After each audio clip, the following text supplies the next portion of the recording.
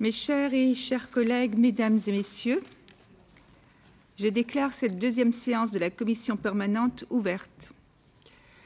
J'aimerais pour commencer vous faire part de quelques modalités pratiques. En ce qui concerne la discussion des rapports, le temps de parole est limité à trois minutes. Les rapporteurs des commissions saisies sur le fond disposent d'un total de dix minutes pour la présentation de leur rapport et pour la réplique aux interventions. Les rapporteurs pour avis ainsi que les présidentes et les présidents des commissions saisies pour le fond disposent de trois minutes. Le temps pour la présentation des amendements ou sous-amendements est limité à une minute. Je vous rappelle aussi que seuls les membres de la commission permanente sont autorisés à voter.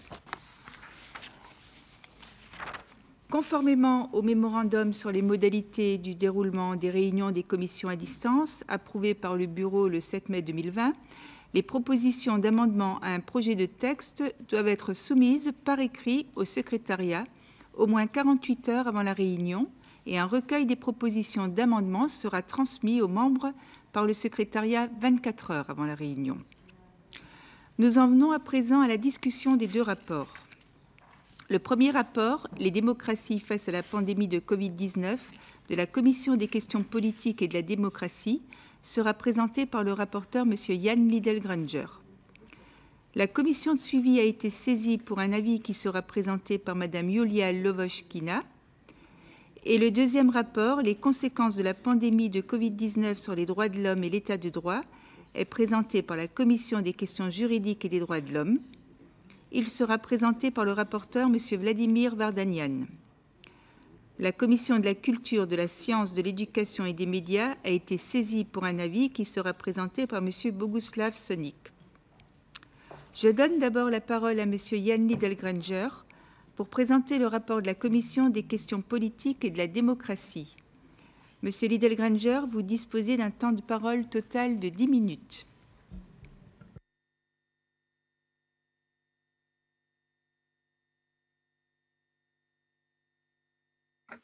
Yes, um, morning. Oh, hang on.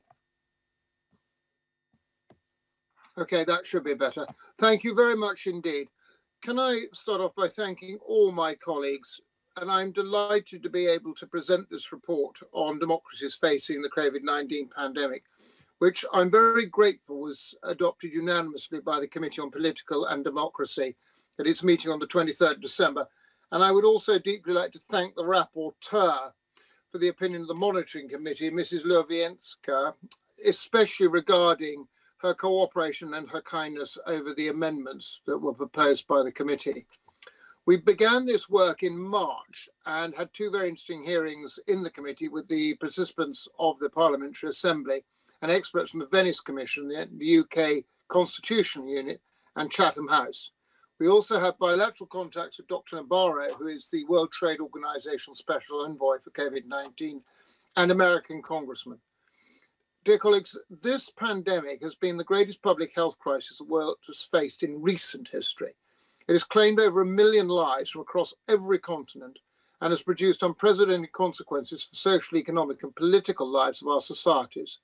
It also been a crash test for governance systems and institutions at national and at international level.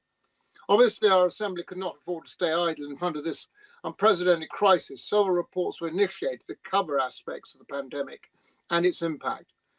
The report, this report, is structured around three main themes democracy safeguards in emergency situations, including crisis management, democratic requirements, and the guiding principles relating to elections during emergency situations.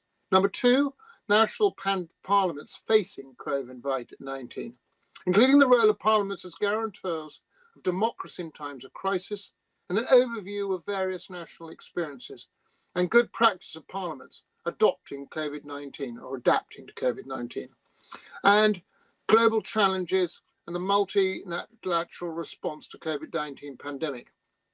May I start number one, which was the democratic safeguards. In view of the exceptional nature of the public health crisis, many governments enacted under times of constraint a variety of immediate and extraordinary measures. They aimed at stopping delay or spreading the virus to any great extent. These measures have been significant impact on their people's lives. professional and social, and on the enjoyment and the fulfillment of rights, and on the functioning of and the balance between democratic institutions and process. In a statement made on the 25th of March 2020, Dame Cheryl Gillan warned that in times of crisis, parliamentary democracies cannot be put on hold. She called for parliamentary scrutiny of governments, even if exercised through new means, to be protected during the COVID 19 pandemic and in to ensure transparency in public debate to preserve, to preserve citizens' trust in democratic institutions. Accordingly, in the resolution, we propose that we record a fundamental principle that must be respected by governments and public authorities at all levels when introducing emergency measures to cope with the pandemic, while supporting states and public authorities in giving priority to saving lives and protecting populations. We stress that democracy, human rights, and rule of law cannot be allowed to become the collateral damage for a pandemic. No public health emergency may be used for as a pretext to destroy democratic acquisition. Emergency situations, especially when a state of emergency is formally declared, generally affect the system of checks and balances. This is a risk of abuse of emergency powers by governments to silence the opposition and restrict human rights. In this context, it is important to recall that all emergency measures introduced in response to the pandemic must be limited in duration and not exceed the duration of the emergency situation that warranted them. We further recall that parliaments must continue to play their triple role of representation, legislation, and oversight. Oversight is even more essential in times of emergency, where the executive acquires additional powers. The continuity of Parliament and the public coverage of its work during the public health emergency are also essential in the way that we allow all major political forces to be represented and to participate in democratic decision making. Above and beyond party cleavages, politicians must act with utmost responsibility to minimize the damage to the population, economy, social structure, and public institutions, address the causes of the crisis, and work in concert with post pandemic recovery plans, which are also need to be prepared for future crises.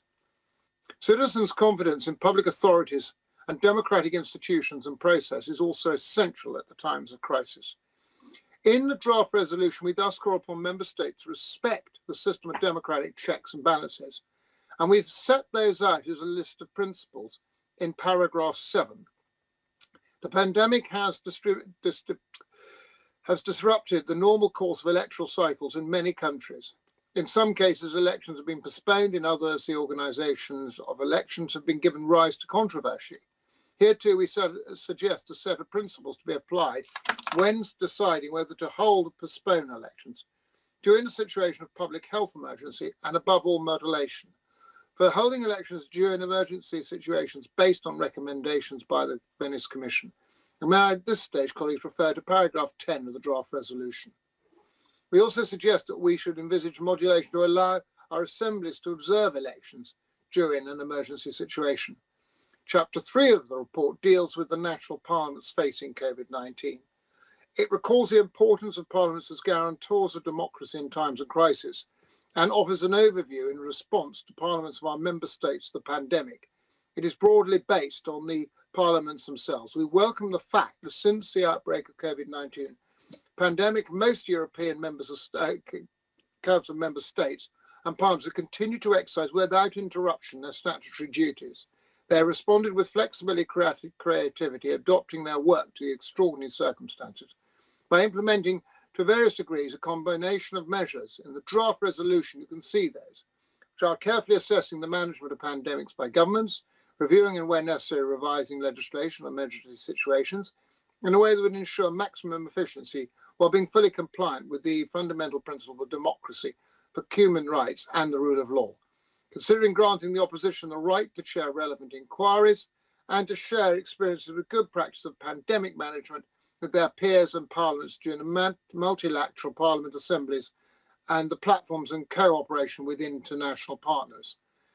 We have tried at all these stages, I have said, to make sure that we do not in any way allow this to become the norm. But not at least in our last chapter, chapter four, the report deals with global challenges in this effect. On the global scale, the pandemic has aggravated some worriness amongst international nations and has received the shortcomings in the international health system Those that was shown in um, Resolution 2329 on lessons of the future from effective rights-based response to COVID-19, which was adopted in June. Governments and private firms are spending billions to create an effective vaccine by hopefully 21. Various candidates across more than a dozen countries are going, undergoing clinical trials. Experts have warned that bidding wars over vaccine will lead to inadequate and distribution and ultimately fail to eliminate the risk of new outbreaks. I do very much agree with the Secretary General of the UN on the need for a vaccine to be affordable and available to all people. For that to happen, states need to evidence based international coordination and human rights compliance with a view of seeking a global focus on this. All Council of Europe member states should adopt a common European approach so that every one of the Europeans' 850 million citizens can benefit from the equal protection of COVID 19. We must also support the World Trade Health Organization's independent and rigorous review of the international response to the pandemic, which started in the summer and is expected to deliver an interim report in November and a substantive one next May. The exercise will be critical. And let's not forget that conf- the conflict afflicted countries or countries emerging from conflicts where pandemic has added another layer on top of the existing crisis. Our governments must positively respond to the UN Council and the calls for the general and immediate cessation of all hostilities in all situations and the need for urgent unity and mutual support in battles against this terrible common enemy. Complacency and the lack of the word solidarity in leadership is vital in this declaration of the COVID 19, the Joint Alliance of Multilateralism, signed by 24 countries, we're only as strong as the weakest link, and building a more sustainable and resilient world through enhanced international cooperation is absolutely right. I do and strongly believe that all member states must be exemplary in this respect, and the Council is there to support our governments in this multilateral development. I always, as always, will try to infor- incorporate as many people as I possibly can. And I hope we can adopt this report as we possibly can today. Thank you very much indeed. Merci, Monsieur Liddell-Grainger, pour votre intervention. J'invite maintenant Madame Lovochkina à présenter l'avis de la commission de suivi. Vous avez trois minutes, Madame.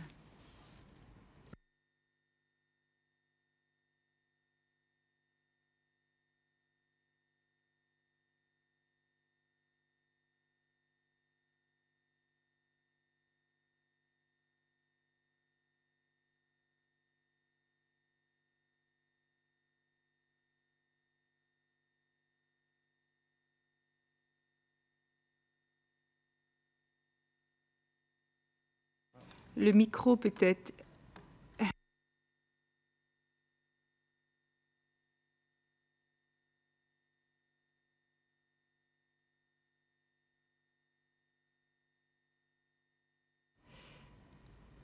Euh, vous avez un problème de micro peut-être. Est-ce que vous avez appuyé sur le petit bouton en bas?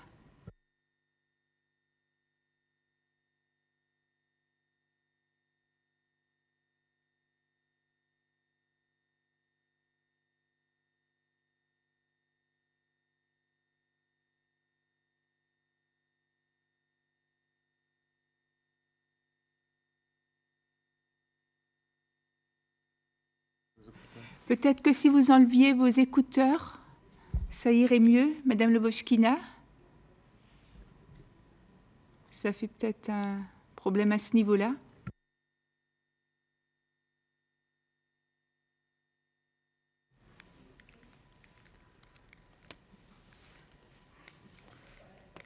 If you try to take off your headphones, it may help.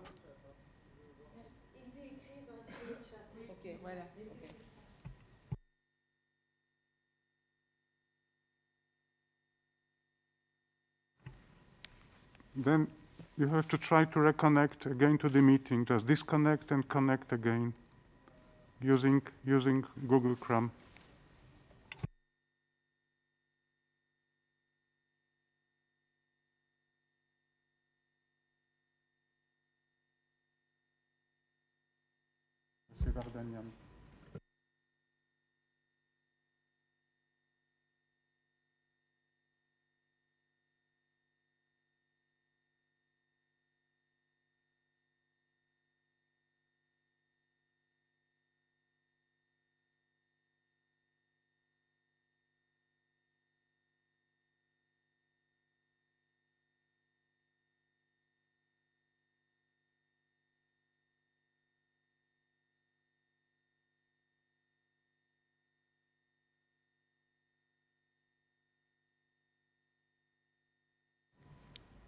Madame euh, Lovoshkina, on va essayer de résoudre le problème. En attendant, je vais donner la parole à Monsieur Vardanian pour présenter le rapport de la Commission des questions juridiques et des droits de l'homme.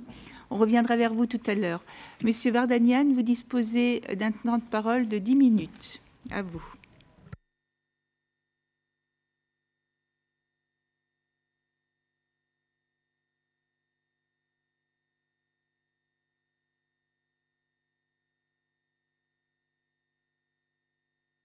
Can you hear me? Oui, très bien. Vous pouvez y aller.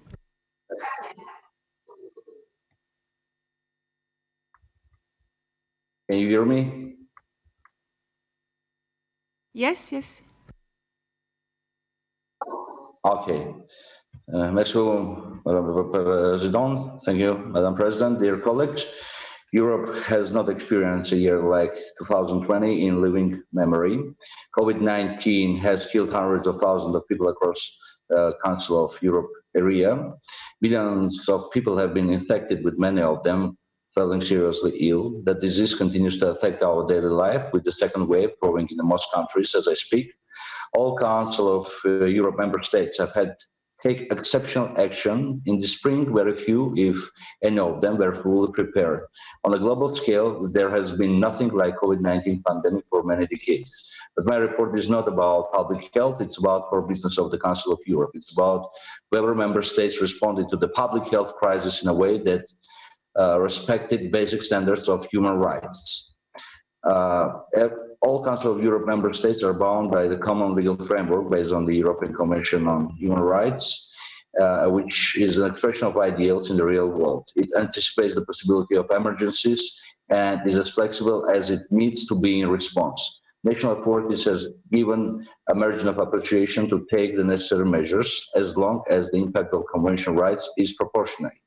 This is a complex, delicate exercise. My report didn't try to second guess whether national measures were proportionate or not. I had neither the time nor the resources for this.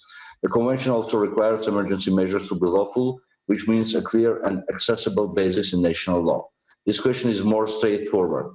In several states, measures had to be taken in early stages that didn't have a clear legal basis.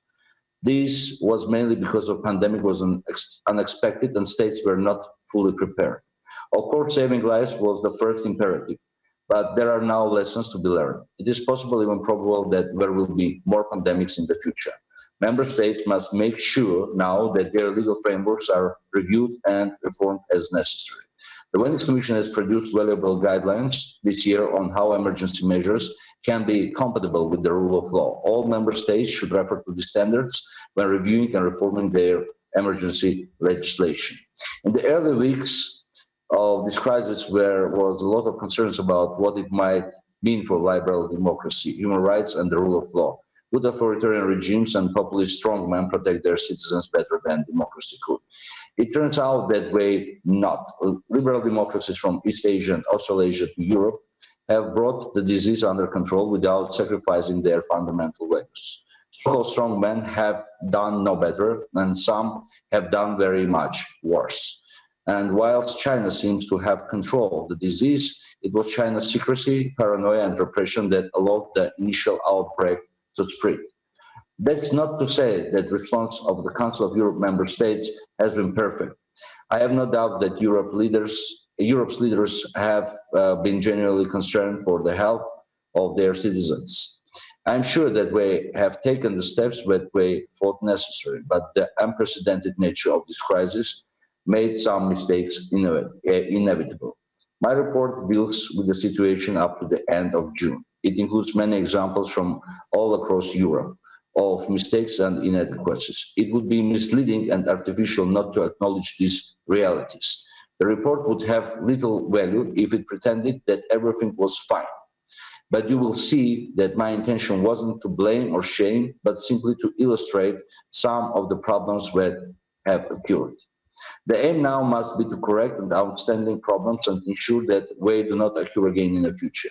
In many cases, national authorities have already taken corrective actions, as noted in my report. Others have not yet done so, but all the member states should review their recent experience in the light of Council of Europe standards on human rights and the rule of law. The draft resolution tabled by the Legal Affairs Committee, however, doesn't mention any states. It deals rather with the matters of general principles that are equally applicable to all member states. With the disease still around us, this is time for solidarity and consensus. The resolution contains a general description of the areas in which some of the most serious problems have arisen. These are emergency measures that were taken in response to pandemic, states of emergency, where is the exceptional legal regimes that many states introduced, derogation from the European Convention of Human Rights, which were introduced by 10 states. This is a huge number. We haven't seen uh, this before. Data protection, especially the relational contact tracing smartphone applications, the function of judiciary, situation in prisons and other places of deprivation of liberty, corruption in the public procurement and economic stimulus and recovery measures. This is followed as a reminder that of the most important and accessible sources of information of the Council of Europe standards. The resolution affirms the Assembly endorsement of these standards. There is also draft recommendation, and draft recommendation is focuses on two issues: harmonizing national practice on derogations to the convention and a pan-European review of recent experience, so that member states can learn from one another about what worked and what didn't work. These are key areas of business of Council of Europe, where the organization is addressing core issues and has real added value. Dear colleagues, when I finalized my report in June, many countries were starting to emerge from the lockdown and the numbers of cases were falling. Unfortunately, things are now heading in the opposite direction. Restrictions are again being imposed, but in this time, public tolerance may be lower, especially with the winter coming. It is vitally important that our population keep faith in their governments and respect the need for restrictions. This means that restrictive measures must be transparent, understandable, proportionate, and democratic. People must be convinced that the measures are based on objective evidence and scientific reasons and are proportionate and non-discriminatory. All of this is possible within the standard model of democracy that the Council of Europe has developed and promoted over the decades.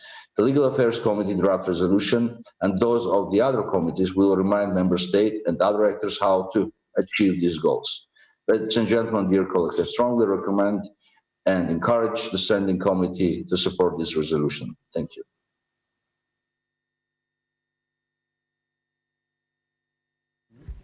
Merci, Monsieur. Alors, est-ce qu'on va essayer de retrouver Madame euh, Lovoshkina tout de suite? Si elle est connectée, comme ça, elle pourra reprendre euh, euh, son rapport pour avis par rapport au rapport de M. Lidengranger.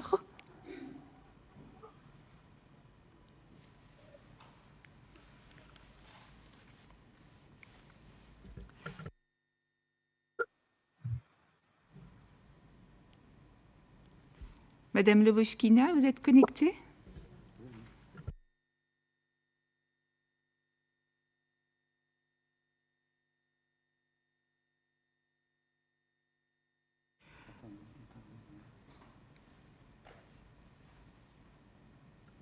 On l'a perdue, donc on va... Non, elle est... Très bien.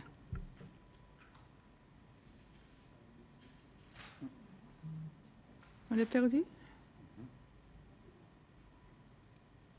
Dans ce cas, je vais passer la parole à Monsieur Sonic pour présenter l'avis de la Commission de la culture, de la science, de l'éducation et des médias. Monsieur Sonic, vous avez trois minutes. On réessayera après avec euh, Madame Lovoshkina.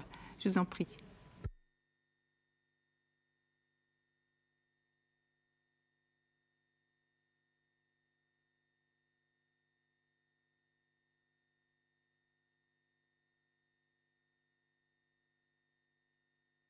Un, deux, trois. Allô? Oui, oui, on vous Oui. entend. Oui, oui, on... Ah Oui, parce que je vois pas. oui, Je, je pas... Bon, tout d'abord, euh, euh, j'aimerais féliciter le rapporteur, M. Vardanian, ainsi que la Commission de questions juridiques et des droits de, de l'homme pour l'excellent rapport concernant l'impact de la pandémie de COVID-19 sur les droits de l'homme et l'état des droits. Notre commission partage pleinement les analyses et les conclusions de euh, ce rapport. La crise sanitaire globale pose un défi sans précédent pour les droits de l'homme et l'état des droits, car dans ces situations d'urgence, le risque est grand et dépasser les limites de ce qui est nécessaire et justifié. Cependant, comme le souligne justement le rapport, même dans les, situations d'urgence nationale, les États membres ne peuvent pas supprimer les libertés, euh, démanteler la démocratie ou violer l'état des droits. Notre commission qui a été saisie pour avis a concentré son analyse sur la liberté d'expression, y compris la liberté des médias, des libertés qui ont souvent été mises en rude épreuve lors de cette crise. Le rapport fait valoir à juste titre que lors d'une pareille pandémie, l'information est essentielle et parfois vitale pour que le public soit averti des dangers. C'est pourquoi les mesures qui restreignent la liberté d'expression, l'accès à l'information, la liberté des médias sont difficilement justifiables. Or, paradoxalement, pendant la pandémie, les menaces contre la liberté des médias et la sécurité des journalistes se sont accentuées et multipliées, comme le confirme la plateforme du Conseil euh, de l'Europe. De nombreuses attaques verbales et physiques contre des journalistes ont été dénoncées. Le risque de la désinformation a été utilisé comme prétexte pour museler les médias critiques par rapport à l'action du gouvernement. Les journalistes ont été arrêtés, souvent maltraités aussi, sous prétexte de non-respect de euh, la quarantaine. Notre commission approuve pleinement le projet de résolution. Dans le même temps, en se fondant sur l'analyse développée dans notre rapport pour avis, elle suggère de renforcer la résolution en soulignant l'urgence pour nos États membres d'assumer pleinement euh, l'obligation de protéger la liberté des médias et la sécurité des journalistes. Notre commission propose deux amendements qui, à notre avis, sont de nature à compléter le rapport en ce qui concerne l'impact de la pandémie sur la liberté des médias. Dans le paragraphe 3 du projet de résolution, avant le nombre de phrases qui commencent par le mot les euh, journalistes, les teneurs d'alerte, les défenseurs des droits de l'homme, insérer la proposition suivante. Par conséquent, la pandémie de Covid-19 et d'autres crises similaires potentielles qui pourraient survenir à l'avenir ne devaient pas être considérées comme un prétexte pour l'adoption d'une législation d'urgence introduisant des restrictions à la liberté d'information qui vont au-delà de ce qui est légal, nécessaire, proportionné et non discriminatoire. Et amendement B, après la sous-paragraphe 12.5 du projet de résolution, insérer le dessous paragraphe suivant. 12.6. Remplir l'obligation positive de protéger la liberté des médias et la sécurité des journalistes en utilisant tous les moyens nécessaires pour mettre fin aux attaques physiques et verbales contre les professionnels des médias. Et 12.7. Mettre fin à la pratique du blocage de sites Internet du euh, déclenchement de poursuites pénales pour intimider, de faire euh, taire les critiques sous prétexte de lutter contre la désinformation. Merci. Merci, merci Monsieur Sonic. Alors, une dernière tentative pour Madame Lovoshkina pour son avis de la commission de suivi par rapport au premier rapport, celui de Monsieur Lidl Granger. Est-ce que vous êtes avec nous maintenant, Madame Lovoshkina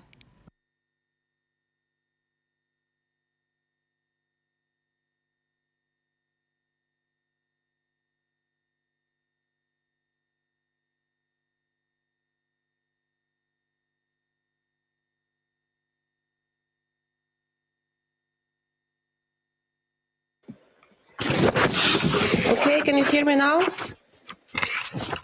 Yes? Finally, it's okay. I'm sorry for the technical issues. Uh, Madam President, dear colleagues, I would like to congratulate Mr. Jan Liddell-Grainger with his excellent report. I share his astute conclusions and especially his emphasis on the fact that under no circumstances a global health crisis should be allowed to undermine our fight for democratic equity and the proper function of the democratic institutions. That conclusion touches upon the mandate of the monitoring committee. I have endeavored in this opinion to bring forward a number of additional observations in support of the overall leitmotif of this his report that is based on the experience of the monitoring committee. Firstly, when assessing how different member states have reacted to the global pandemic, it is essential to take into account the specific constitutional and legal order, as well as the democratic environment in each country. The committee has committed itself to assess the compliance of emergency measures with democratic standards in its regular monitoring and periodic review reports. Secondly, the COVID-19 pandemic caught many countries off guard. As a result, they were forced to adopt and implement specific measures at very short notice. In countries with more polarized political climates, this was marked by increased political tensions. Therefore, all member states should develop adequate constitutional and legal framework to deal with global health emergency situations. These measures should be based on a wide consensus between all stakeholders in order to ensure their wide public acceptance and they should do it now before confronted by a new pandemic.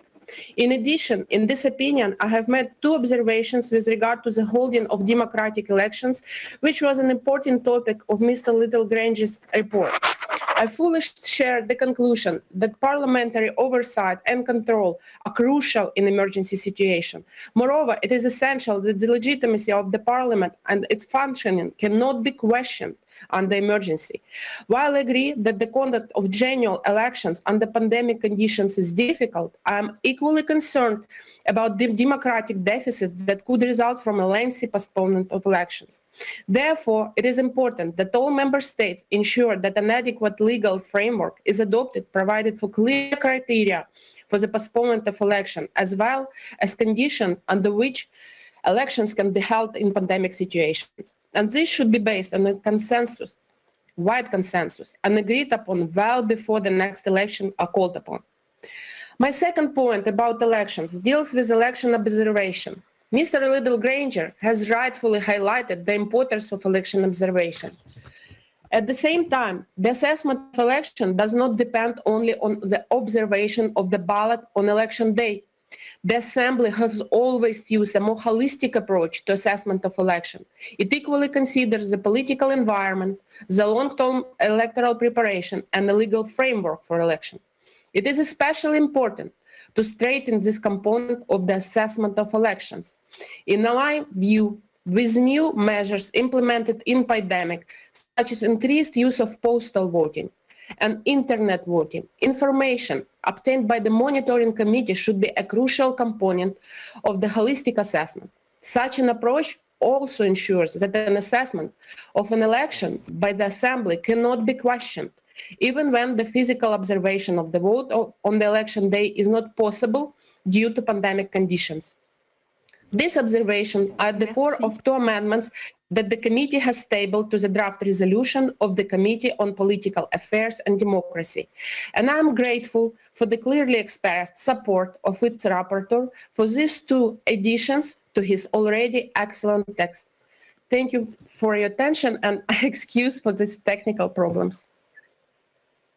Merci. Du coup, vous avez eu un petit bonus, mais euh, nous sommes ravis aussi que vous ayez pu quand même intervenir. C'était important ce que vous aviez à dire. Je vous remercie tous les quatre. Le débat est maintenant ouvert. Qui souhaite prendre la parole? Alors, je donne d'abord la parole aux représentants désignés par les groupes politiques. Je vais les nommer euh, tous les quatre de sorte qu'ils se mettent, euh, s'attendent à ouvrir et leur micro et, et leur vidéo. Donc, il s'agira de Madame euh, Karamanli, de Monsieur Poitchek, de Monsieur Cotier et de Monsieur Gail. Donc, je donne d'abord la parole en premier à Madame Marietta Caramanli pour le groupe euh, socialiste.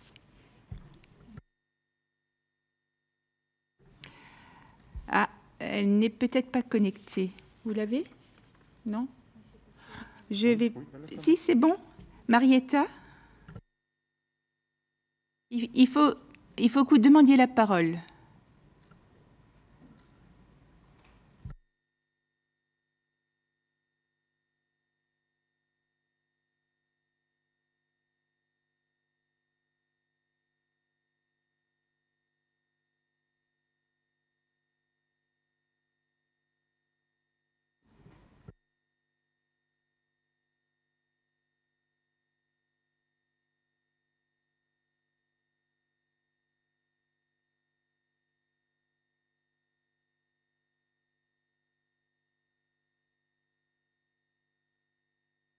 Ouais. Euh, Marietta Caramanli, il faut demander la parole et ensuite euh, appuyer sur la touche micro et sur la touche vidéo. Ça en fait beaucoup de choses, mais euh, voilà, c'est comme ça.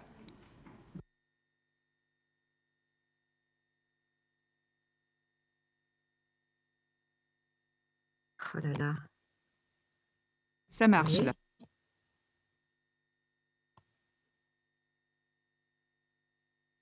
Oui, allô? Est-ce que vous m'entendez? Très bien. Est-ce que vous m'entendez? Oui, oui. Est-ce que vous m'entendez? Alors Marietta, on t'entend, mais euh, Est-ce que vous m'entendez? d'accord. c'est ce qu'on appelle un dialogue de sourds. Euh, oui, nous, Oui. nous, on entend. Vous m'entendez?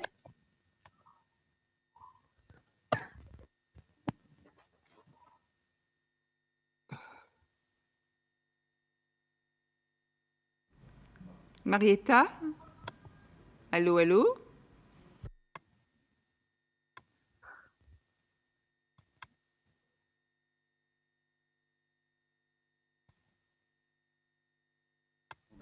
Sinon, euh, je vais demander à, Est-ce que vous m'entendez? à- Oui, oui, oui. Marietta, est-ce que ça va ou est-ce que euh, le temps qu'on prenne un autre orateur, peut-être? Oui, on va prendre un autre orateur. Euh, Ah, très bien. Excusez-moi parce que je, je n'arrive pas à, à vous entendre. Est-ce que, est que là, Marietta, c'est possible de- d'être oratrice ou pas du tout? Ou est-ce qu'il vaut mieux qu'on prenne un autre orateur et ensuite tu reviens? On va prendre Monsieur Poitier pour euh, PPE.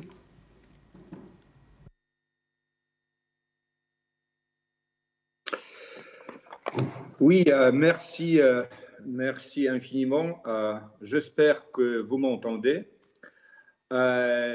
Chers collègues, la situation qu'on a, qu'on a vécue il y a quelques secondes nous montre comment fragiles nous sommes parce que tout à coup, on peut nous couper la parole par des moyens techniques et on est éloigné, on ne peut pas réagir.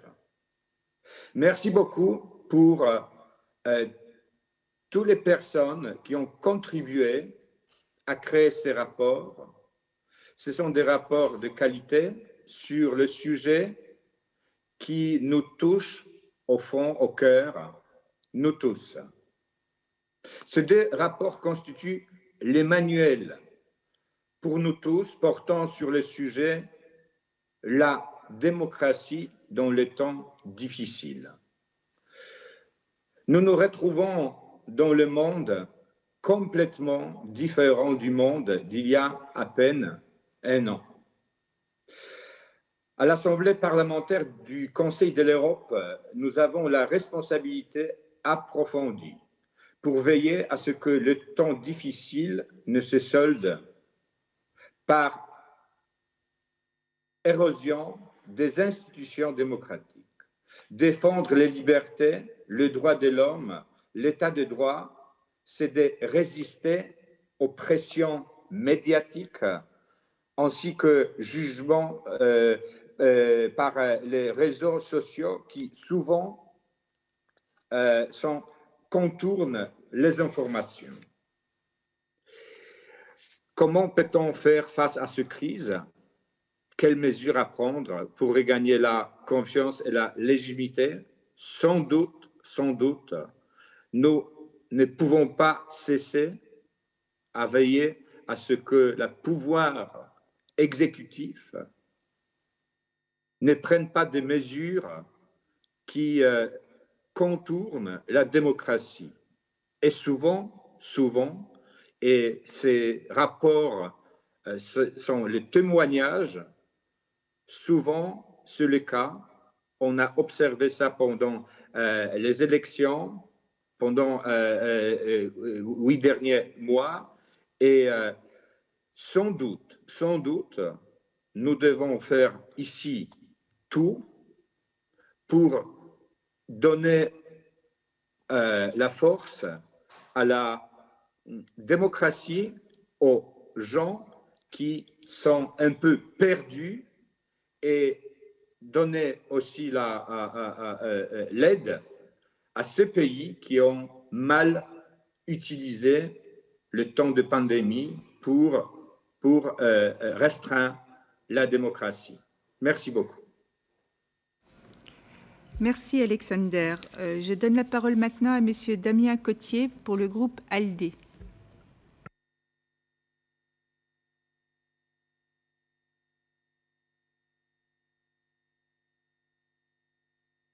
Bonjour, merci Madame la, vice-présidente. Nous sommes dans un débat essentiel pour notre institution. La démocratie, l'état de droit, euh, les droits de l'homme sont des biens parmi les plus précieux de l'humanité. Et en Europe, nous avons la chance de bénéficier d'institutions qui sont dédiées à leur défense et à leur promotion, en particulier évidemment le Conseil de l'Europe. Ces valeurs sont au cœur de ces institutions, comme vient de le dire joliment le représentant du, du PPE. Comme c'est la première fois que j'ai l'honneur de m'adresser à cette assemblée, certes dans un format un peu particulier aujourd'hui, j'aimerais dans un mot personnel vous dire ma fierté au fond d'appartenir à cette institution. Au nom du groupe des libéraux et démocrates pour l'Europe, je tiens à féliciter et à remercier les rapporteurs pour leurs travaux, les travaux que nous soutenons. Je me limite ici à quelques remarques essentielles. Premièrement, si des limitations des droits fondamentaux sont justifiables pour préserver un bien aussi précieux que la santé, en situation exceptionnelle, il est juste de rappeler que ces exceptions doivent toujours être limitées dans leur durée comme dans leur portée et basées sur la loi. Deuxièmement, il est essentiel de maintenir le fonctionnement des contre-pouvoirs, même en temps de crise et peut-être surtout en temps de crise. Les parlements doivent continuer à jouer leur rôle, et là les parlements d'Europe ont été créatifs et flexibles pour pouvoir le faire. La justice doit elle aussi continuer à fonctionner pour assurer notamment le droit à un procès équitable. Troisièmement, les règles de la Commission de Venise sur l'état d'urgence, sur les états d'urgence sont importantes et elles devront être davantage intégrées dans les législations nationales. Quatrièmement, la liberté d'expression, la liberté de la presse sont essentielles en tout temps et ni les crises ni la nécessité de lutter contre la désinformation ne doivent servir de prétexte pour les affaiblir.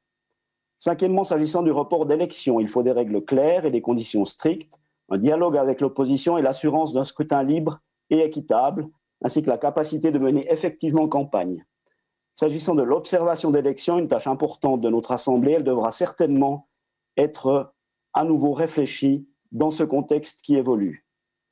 Sixièmement, cette crise qui se moque des frontières souligne bien le besoin de coopérer davantage et mieux au plan multilatéral, à commencer par la diffusion des vaccins quand ils seront disponibles. Et septièmement, enfin, dans une perspective complémentaire à ce que je viens de dire, cette crise souligne aussi la nécessité de coopérer entre les autorités nationales, les autorités régionales et locales. Tous ces points, de nombreux autres qui sont évoqués dans les rapports, devront faire l'objet de travaux de suivi à la fois dans les États et dans notre Assemblée comme leçon de cette crise du Covid-19. Le groupe ALDE remercie toutes les personnes et institutions du Conseil de l'Europe qui se sont engagées avec force pour défendre ces valeurs essentielles au fil de cette crise, à commencer par le président de notre Assemblée, la secrétaire générale, le comité des ministres et la commission de Venise. Je vous remercie. Merci à vous. Je donne la parole à Sir Roger Gale pour le groupe des conservateurs et de l'Alliance démocratique.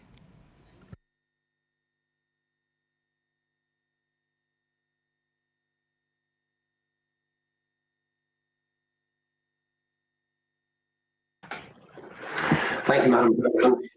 Uh, apologies for the slight delay in the technology. Um, on behalf of the European Conservative Group, can I congratulate Ian Liddell-Grainger and uh, Vladimir Vardanyan and Yulia Ojenko for their work on these reports. Um, they are very important and they underscore, I think, the philosophy of the Council of Europe. It is absolutely the case that the pandemic, indeed any pandemic, cannot be allowed to interfere or corrupt the democratic process. The belief in democracy is the bedrock of the European Conservative Group, as of course it is the bedrock of the fundamental philosophy of the Council of Europe. Uh, we stand by that. Uh, we stand by our belief in the freedom of the press. And of course, a free press is instrumental in any democratic process and any democratic election. And I believe that the combined effort that's been put into these reports reflects all of those views. The European Conservative Group will most certainly be supporting the amendments proposed by the Monitoring Committee. Um, they contribute significantly to the report and improve it. It will surprise nobody probably to uh, know that we shall not be supporting the amendments tabled by the Russian Federation, which are a very thinly veiled attempt to undermine and dilute uh, the process of these reports. It, Russian Federation has never been particularly wedded, so far as I can see, to the democratic process, and uh, we will reject these amendments out of hand. But again, my thanks to all of those who put so much hard work into the preparation of these reports. We applaud it. Thank you very much indeed. Merci, Sir Gail. Je vais essayer de redonner la parole à Madame Caramanli pour le groupe euh, du, des socialistes. Bonjour. Bonjour, hein, Madame la Présidente. Euh, Mes chers collègues, excusez-moi pour les problèmes de connexion euh, ce matin. Euh, nous sommes effectivement, nous avons donc deux projets de résolution à examiner en, en vue de, de leur adoption par notre Assemblée. Et, et, donc, au nom du groupe socialiste, euh, je me félicite de, la préoccupation forte et de la tonalité de ces deux projets, selon lesquels la démocratie, les droits humains et, l'état de droit ne peuvent, ne doivent devenir les dommages collatéraux de la pandémie. De nombreuses questions sont abordées et, et font l'objet de recommandations pertinentes. Pour ce qui est donc des droits de l'homme et de l'état de droit, le projet de résolution met en évidence euh, effectivement la, question, euh, je dirais, de, euh, la, nécessaire vigilance et que les parlements et que notre Assemblée doivent avoir pour que les mesures de limitation des libertés soient interprétées de façon restrictive. Les limitations doivent être nécessaires, limitées dans leur objet et dans leur durée, et en mots être donc proportionnées à l'objectif poursuivi.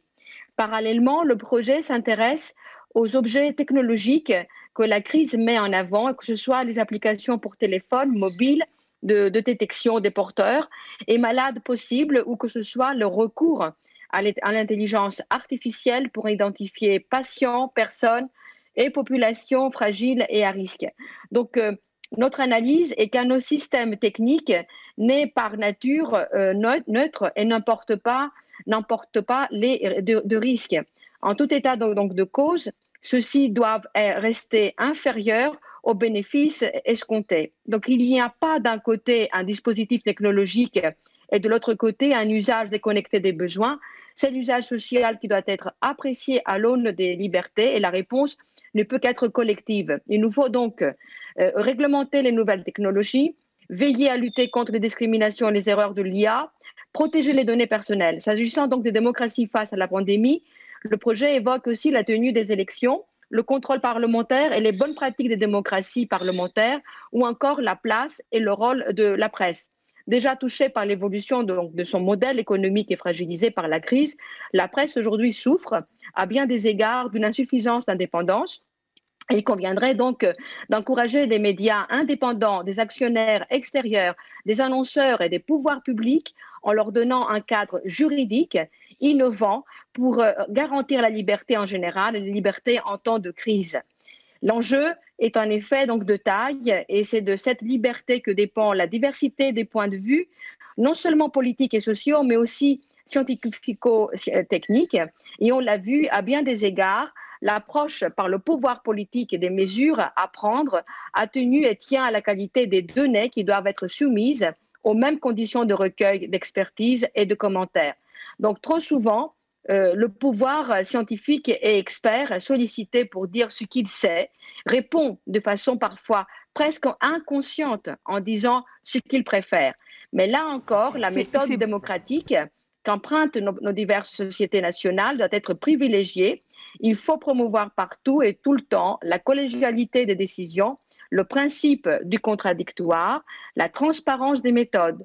Donc il ne faut pas euh, considérer que cela est de tout temps acquis et à cela aussi notre Assemblée doit travailler. Voilà, euh, Madame la Présidente, mes chers collègues, mon intervention va s'arrêter là parce que euh, le temps est, est, vraiment compté et c'est à partir de, je pense que c'est à partir de ce point que doivent désormais commencer nos réflexions pour un monde certes incertain, mais, par l'objet en tout cas libre. Et je vous remercie vraiment de votre attention et des travaux des deux, de, deux rapporteurs sur ces, beaux projets et, et, finalement à nous de poursuivre ce travail parce que nous n'avons pas fini avec les crises qui vont venir devant nous. Merci. Merci Marietta. Euh, il y a un dernier représentant euh, des deux partis, celui du parti euh, GUE, c'est M. Tini Cox euh, que j'invite euh, à prendre la parole.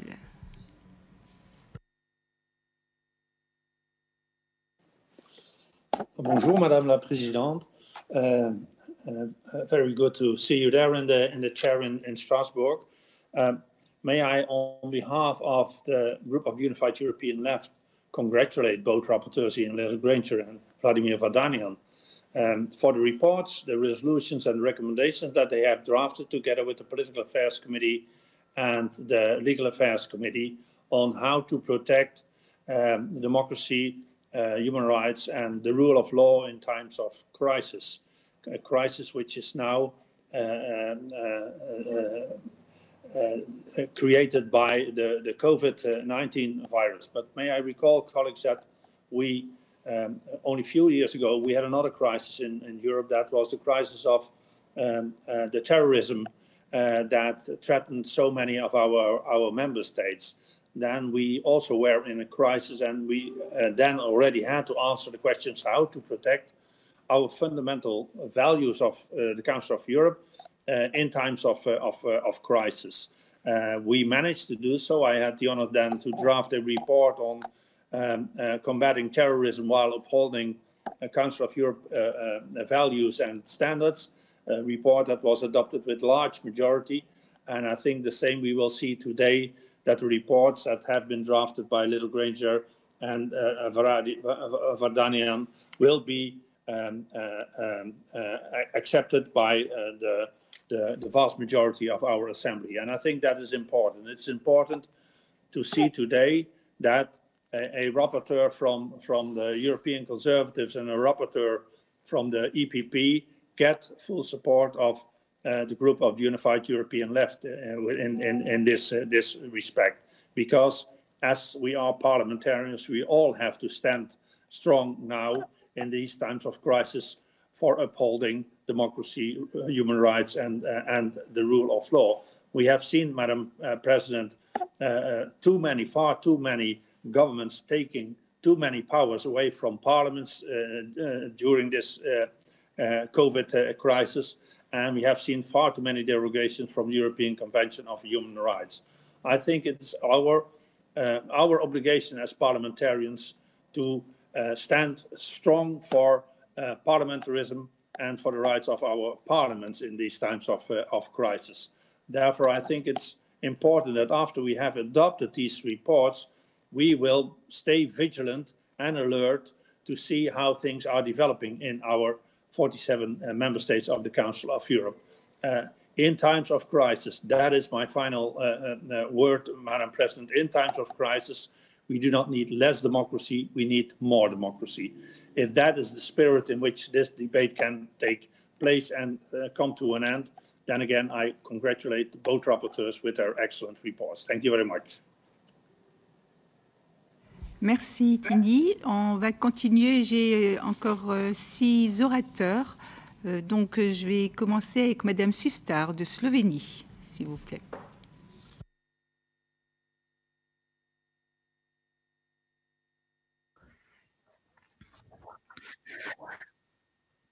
Hello. Hello, everyone. I would also like to congratulate you for the work you did. Uh, my debate is about the report of the impact of the COVID-19 pandemic on human rights and the rule of law. As I have already stressed in the committee discussion, some facts in the Committee on Legal Affairs report as well as in the Committee on Culture opinion are false. Here I refer explicitly to paragraph 8 of Mr. Danyan's report and paragraphs 25 and 31 of Mr. Sonik's report, in which Slovenia is mentioned in a negative context.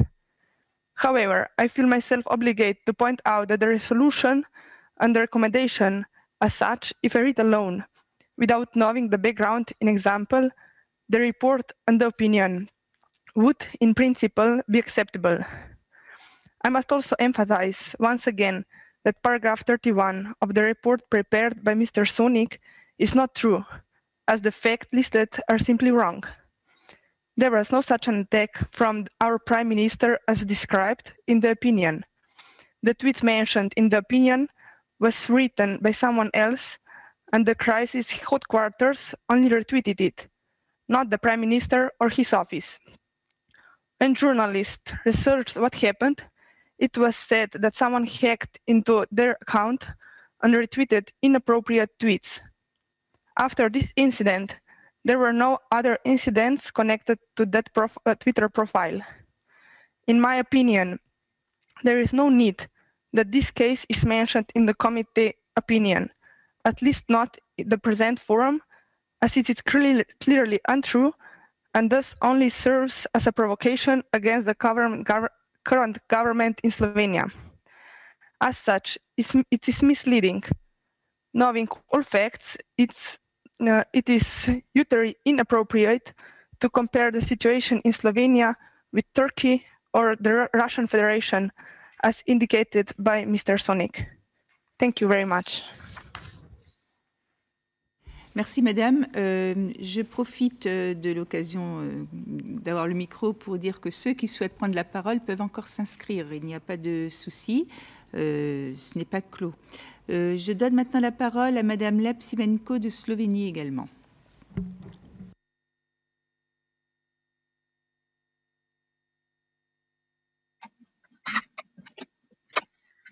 Dear Sir, Madam, I would like to respond to some facts stated about Slovenia in the report of Legal Affairs Committee and particularly in the opinion of the Committee on Culture. I would like to point out that the statement in paragraph 31 of the committee's opinion is untrue. The Prime Minister didn't write the reported tweet. The mentioned tweet was written by someone else and the government crisis headquarters retweeted it. Anyway, the retweeting doesn't imply the agreement. Furthermore, I would like to point out that uh, paragraph 25 of the committee's opinion places Slovenia alongside Russia and Turkey in terms of threats and pressure on journalists, which, with which I really cannot agree. There is no pressure on journalists from political authorities in Slovenia and the authorities cannot be held accountable for pressures from individuals who do not agree with the journalist's report. In Slovenia, the media and journalists have complete media freedom. Maybe I should mention here that Slovenian media enjoyed the most freedom at the time of Janez Janša first government between 2004 and 2008, when Slovenia ranked 9th and 10th place. So it might make more sense to wait until the end of the term of the current government and then judge how the international public sees press freedom in our country. Regarding commodity reserves and the contracts signed for protective equipment, which was also mentioned in the report, I need to add that there was no whistleblower at the Agency for Commodity Reserve as reported, but merely a repender pointing the finger at others only to disguise his own signature under contracts worth hundreds of millions that should never have been signed. In the background of his disclosures is only a political agenda. I would also like to draw attention to the specifics of the Slovenian media landscape. Although some media find it difficult to admit this, they historically originate from a left-wing political option. So they continue to highlight the agendas of left-wing parties. Anyone who follows them at least a little knows how much they support the left-wing governments and how negative is their attitude towards the right-wing government, the government led by Janez Janša.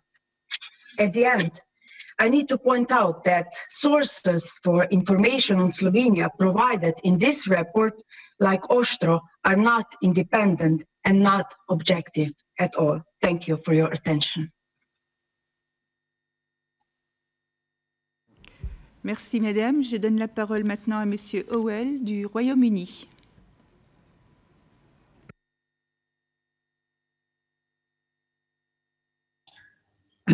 Thank you very much, Madam President. First of all, allow me to give my congratulations to the rapporteurs for, for this excellent, uh, excellent series of reports. Um, and, and I mean that very, very sincerely. I think this is a crucial moment, actually, in the in the functioning of the Council of Europe. I, I think it's a crucial moment to make sure that our uh, our aims and objectives are well understood and well uh, put into play. For me, the rule of law, democracy, and human rights are not academic concepts. They are real concepts that we need to actually see and to and to work uh, in our own countries. And if I have one criticism of, of the report, it is in, in, in, the efforts that, that are going to be made to try to make sure that this, these reports are, are implemented in the countries of, uh, or, or that, that, are members of, of, the Council of Europe. Uh, and, and, I think that that is a duty that, uh, that falls on all of us to be able to, to take that forward. I think it's very important that we approach this not from a blame and shame uh, perspective, it's very important that we not try to single out countries that have done things wrong or have not approached uh, the situation in, in the right way. The important point that we need to make here is about sharing information. It's about making sure that people understand what the what the rules are, how they can make sure that the rule of law, democracy, and human rights are at the center. And one of the key elements of that is in convincing their populations that what they are doing is right and taking them with them. And, and for example, in, in the UK this afternoon, we have a, a large debate on, the, on, on the proposals that the Prime Minister uh, here ha, has made in, in order to uh, provide some focus on, on the tackling of, of, the, of the next stage of, of COVID. Now, I'm completely uh, at one uh, with, uh, with, with Sir Roger Gale and others about the free press. But where I where I would draw a line is in social media. If you look at social media today, you will see that it, it, it goes between the pandemic being over to the pandemic being um, about to, to destroy humanity. And I do think there needs to be some control uh, exercised over social media, if that is possible, in order to make sure uh, that that we get uh, an accurate an accurate picture. But as I say, I think that the the, the I'd, I'd like to congratulate again the rapporteurs uh, for their excellent um, uh, pr productions uh, to, today, and to and, and to ask all of us to make sure that their recommendations are fully implemented in our own countries. Thank you. Merci, Monsieur Ovel. Euh, je donne la parole maintenant à Monsieur Sigmund de Hongrie.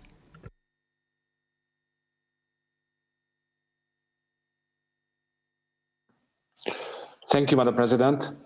Thank you, dear colleagues. Uh, uh, I would like to congratulate to the rapporteurs to their report, uh, especially to the report of uh, Mr. Liddell uh, uh, Grainger. However, I would like to have uh, some comments to the explanatory memorandum of the report of Mr. Vladimir Vardanyan and also to the report of the Committee of Culture and Science. In the first report of Mr. Liddell-Grainger, it's correctly stated uh, the situation in Hungary, and it's uh, it's referred to the letter uh, sent by Mr. Zsolt Németh, our head of delegation, in which he elaborates exactly what does it mean the situation, the legal situation, the, the legal framework in Hungary, how we understand the legal framework of the state of emergency, and he's stating in his letter that the Parliament of Hungary was working permanently. personally, we were taking part at the at the at the at the, at the, at the, at the forums and the state of emergency ended on the 16th of June when, the, when we, the parliament, uh, voted the end of the state of emergency. However, in the explanatory memorandum of the report of Mr. Vardanyan, he still referred to the state of emergency uh, without uh, the comments of uh, Mr. Németh, and he's also stating that uh, it's a very unique situation what was in Hungary, a very different approach he's, he's stating. I, I want, would like to argue that every state is taking a different approach according to the legal system of that state. And also in the report of the Committee of Culture, uh, Mr. Sonik uh, uh, is elaborating a political opinion stating that uh, the government of Hungary wants to use the, this situation to silence all critics by threatening independent journalists with criminal prosecution. And this kind of terms, I would like to argue that we do not need the political terms. We, we should uh, remain uh, uh within the legal terms. And uh, this excellent report uh, Uh, uh, which I uh, have referred to, really entering in the deep analysis of the legal system as throughout analysis. And we also have the Venice Commission documents, which are very interesting and very important legal documents because we face a very delicate legal question. And we, we have to realize that every state has a special legal system. You have states when you don't have constitu constitutional courts, so you have different approaches. And I would like to, uh, to stress that the fundamental uh, law in Hungary lists those rights which cannot be subject to further limitation even even special legal order. And also, I would like to, uh, to, to emphasize that crisis management measures adopted in Hungary are fully in line with the principle of rule of law and the safeguard of human rights. And we do agree with some previous speakers uh, were telling that we, we do need more democracy and we have to fight uh, against this COVID pandemic also with legal terms. And we have to rely each other and we have to, uh, if we uh, analyze uh, one state's legal system, then we have to refer to the legal terms. And uh, as lawyers, we don't have to formulate political opinions. Thank you. Well, thank you, Mr. Sigmund. And now it's uh, Mr. Bashkin.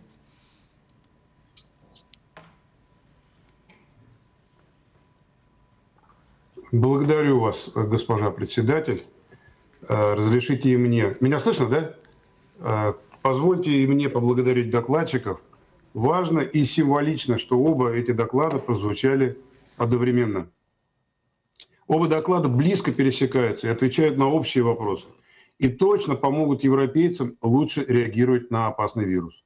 Мне даже кажется, что после опубликования этих докладов заболеваемость в Европе и в мире пойдет на снижение.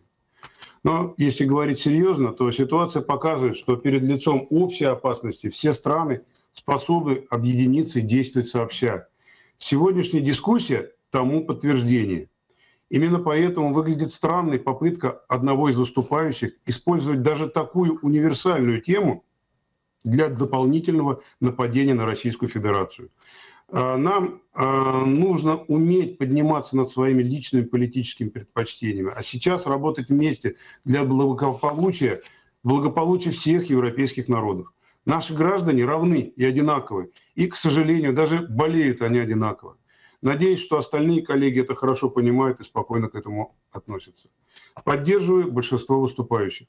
Противоэпидемические меры – это всегда и в первую очередь ограничения в передвижениях по стране и по миру. Это ограничения по собраниям. Много других рестрикций. Необходимо уметь соблюдать золотую середину и не скатываться в другую крайность, в чрезмерное по силе и по продолжительности действия ограничений. И вот здесь особую роль играют два столпа демократии в Европе. Это парламенты и это средства массовой информации. Роль парламентов во время эпидемии никак не должна снижаться. Она даже еще более ответственна. И в первую очередь в виде законотворчества. Быстрое изменение эпидемической ситуации, необходимость спасать экономику, обеспечивать тонкую настройку санитарных мер вынуждает парламенты даже в такие напряженные дни с риском для своего здоровья, но собираться и решать вопросы во имя благополучия своего населения. Я не буду долго говорить и занимать время, я вижу, будут выступать еще мои коллеги. И еще раз позвольте поблагодарить докладчиков за эти важные сообщения. Спасибо. Uh, thank you. And now is Mr. Estasio from Cyprus.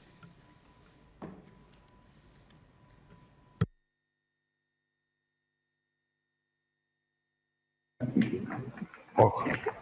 Good morning, although I'm, I'm hardly seen. Um, my congratulations to the rapporteurs for, because they have uh, rightly focused on the challenge we face as democratic societies. Is uh, what uh, is in the issue is the depth of uh, the democracy, which uh, always is proved in the time of crisis. This crisis has to be considered as a major one and uh, has uh, analogies with the crisis of the mid 30s uh, in Europe. So, having said that, um, and with the pandemic far from over, we need to be vigilant now more than ever so that the situation does not get out of hand. We also need to prioritize our actions and allocate sufficient resources so as to implement these measures. Concerning implications for justice and the rule of law, we, we must ensure that emergency restrictions are anchored in the rule of law. The digital transition of the judicial sector must also be pursued and completed. We must also safeguard judicial independence and transparency in all member states. It is necessary that parliaments maintain and strengthen their role as guarantors of stability and democratic legitimacy.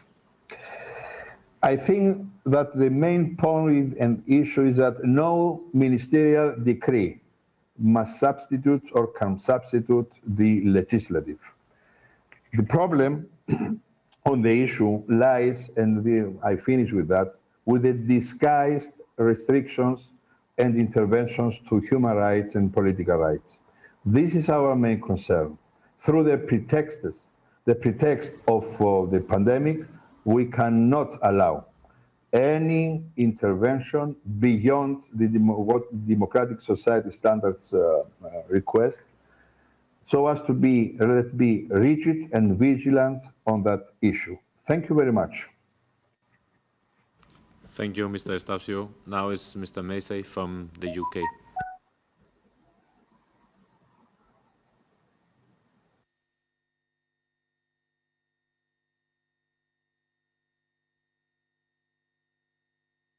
Thank you, Mr. President. Um, I congratulate the rapporteurs on two extremely thorough and interesting reports. They raise issues which all of us have struggled with in the course of COVID-19, which would indeed be applicable to other pandemics.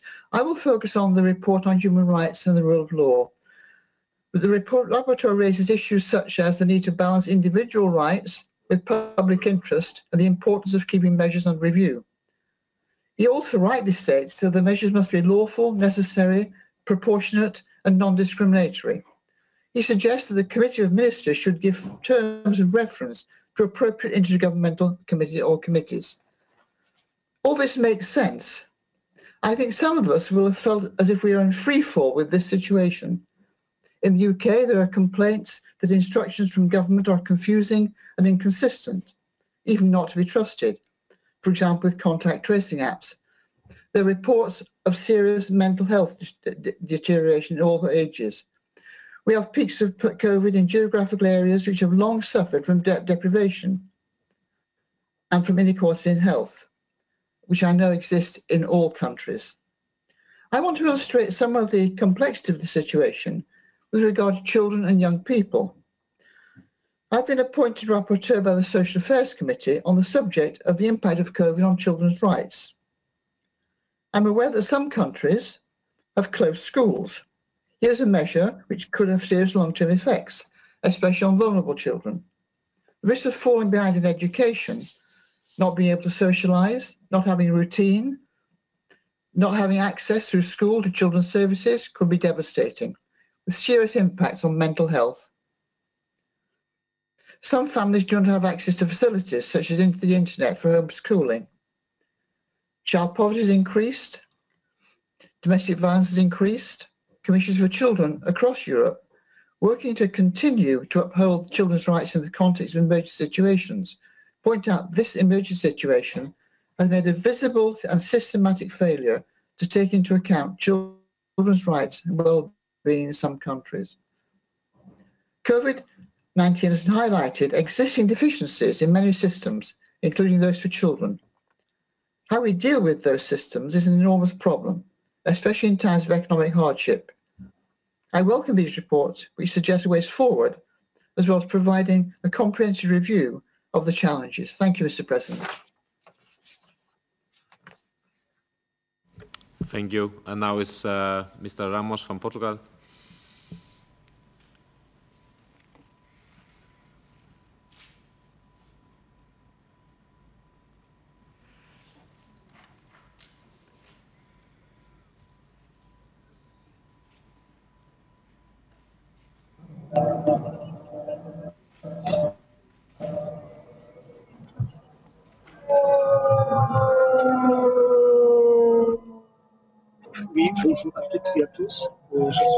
Les rapports de la Commission des questions politiques et des commissions juridiques présentés aujourd'hui. Bien en temps propice, euh, le temps que nous entrons malheureusement dans la deuxième vague de l'épidémie de la COVID-19. 26 juin 2020, notre Assemblée a euh, déjà adopté une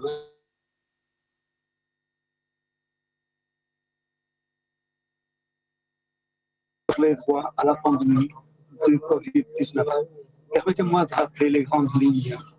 Nous devons agir vite pour endiguer toute résurgence en prenant des mesures efficaces, testées et éprouvées, euh, mises en œuvre dans le respect des droits. Nous devons réaffirmer le rôle fondamental des parlements et nous devons nous assurer qu'ils sont en euh, capacité d'exercer pleinement leur mission. Nous devons permettre à l'OMS de mieux s'acquitter de son mandat qui est d'attendre euh, le, le meilleur niveau de santé possible pour tous et toutes par une réforme d'organisation qui permet à l'OMS de ne pas dépendre des contributions volontaires pour remplir ses fonctions essentielles et qui renforce le règlement sanitaire international en vue de redéfinir la gouvernance mondiale pour lutter contre les maladies, mais qui met aussi en place un contrôle efficace indépendant, idéalement parlementaire de l'organisation. Si nous arrivons à mettre en œuvre leurs recommandations l'Assemblée a adopté aujourd'hui et en juin 2020, nous avons une chance d'éviter une catastrophe en termes de, de pertes humaines, de l'ordre de la maladie, ainsi que des conséquences aussi catastrophiques pour l'économie et les droits humains. Merci bien.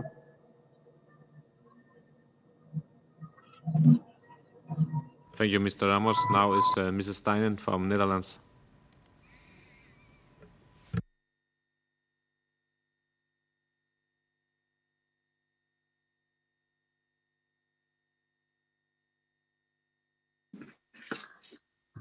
Yes, good morning, everybody. Oh, I'm going back to the floor. Good morning, everybody. I would like to compliment both rapporteurs uh, to excellent for their excellent reports. As they say, human rights, democracy, and rule of law are not a luxury for good times. They're absolutely a necessity for turbulent and difficult times. And this is what we're facing today and tomorrow and maybe next year. I was particularly impressed by the chapter on elections during emergency situations and the guiding principles in the report on democracy. But I have a specific question. What does this mean for the work of PACE when it comes to election observations? How do we deal with the travel restrictions some of us have been uh, faced with by our own governments?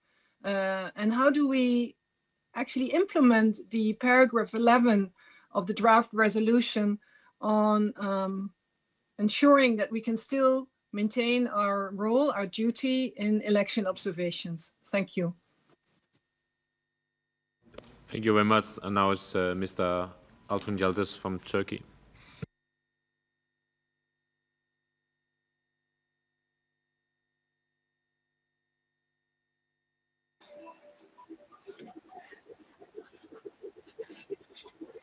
Thank you, Mr. Chair. I just would like to express my thoughts on the report of uh, Rapporteur Mr. Vardanyan about the impact of the COVID-19 pandemic on human rights and the rule of law.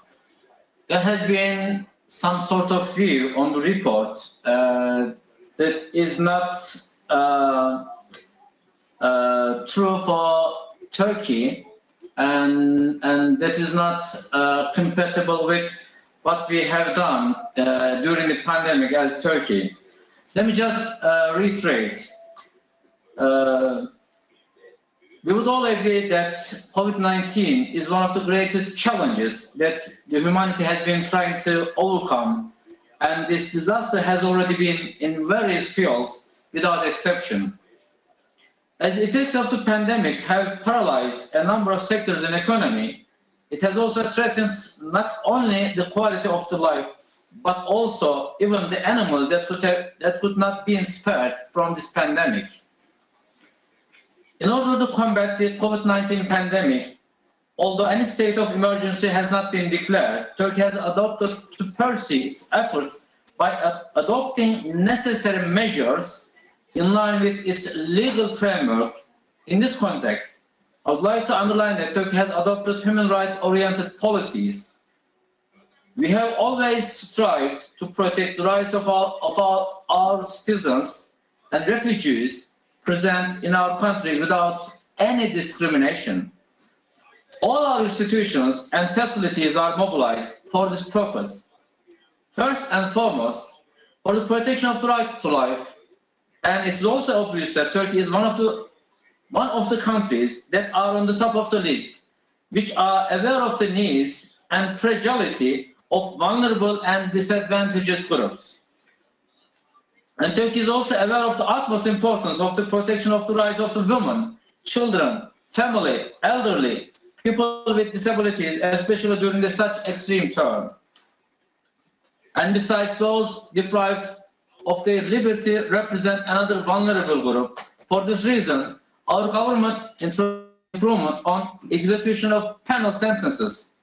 Then I would like to emphasize that a large number of persons meeting the requirements specified in the law were released with this regulation, and this regulation also increases health measures that should be applied within penitentiary institutions to prevent the spread of COVID-19.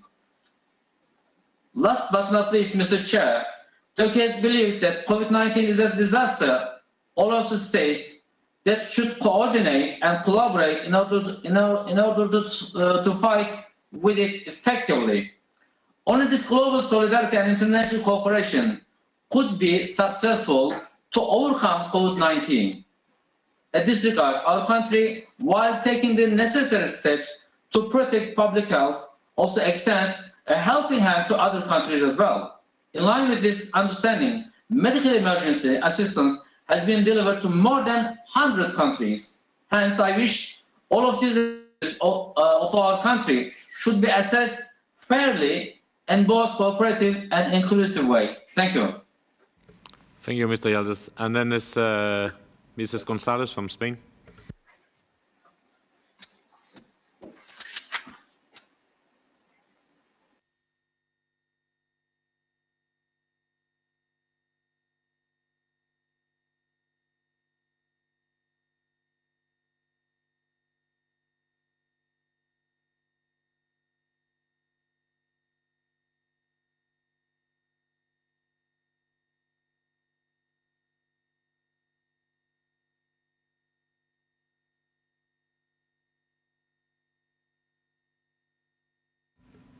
Mrs. Gonzalez, can you hear me?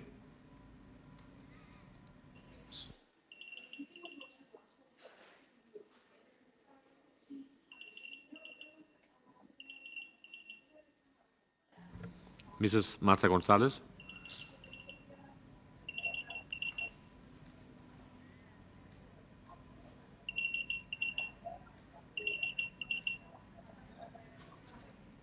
Okay, wait then.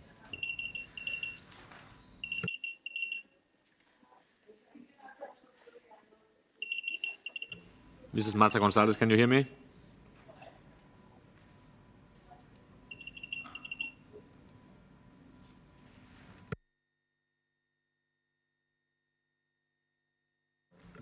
Okay. It sounds that Mrs. Marta Gonzalez cannot hear us.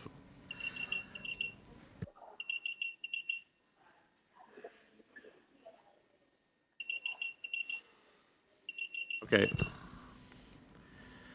Does anyone else wish to take the floor? Speaker list is closed. Then I call Mr. Dendel Granger to respond, please. Well, thank you very much indeed, Mr. Oh, hang on. Sorry, damn technology. Um, Mr. President, thank you very much indeed. Uh, fascinating listening to people and their concerns. One or two just uh, observations. Mr. Bushkin from Russia, I only got part of his um, because unfortunately translation failed. Mrs. Stenner from the Netherlands, very good point. I would just say that um, we are looking at the observations of elections, and this needs to be work that's still to be underdone, taken. There is more to be done. And it needs to be in partnership with the Bureau and with the outs- other outside Venice Commission, OECD, and others. This is a piece of work we weren't asked to do, but I take the point on board from Mrs. Stenner.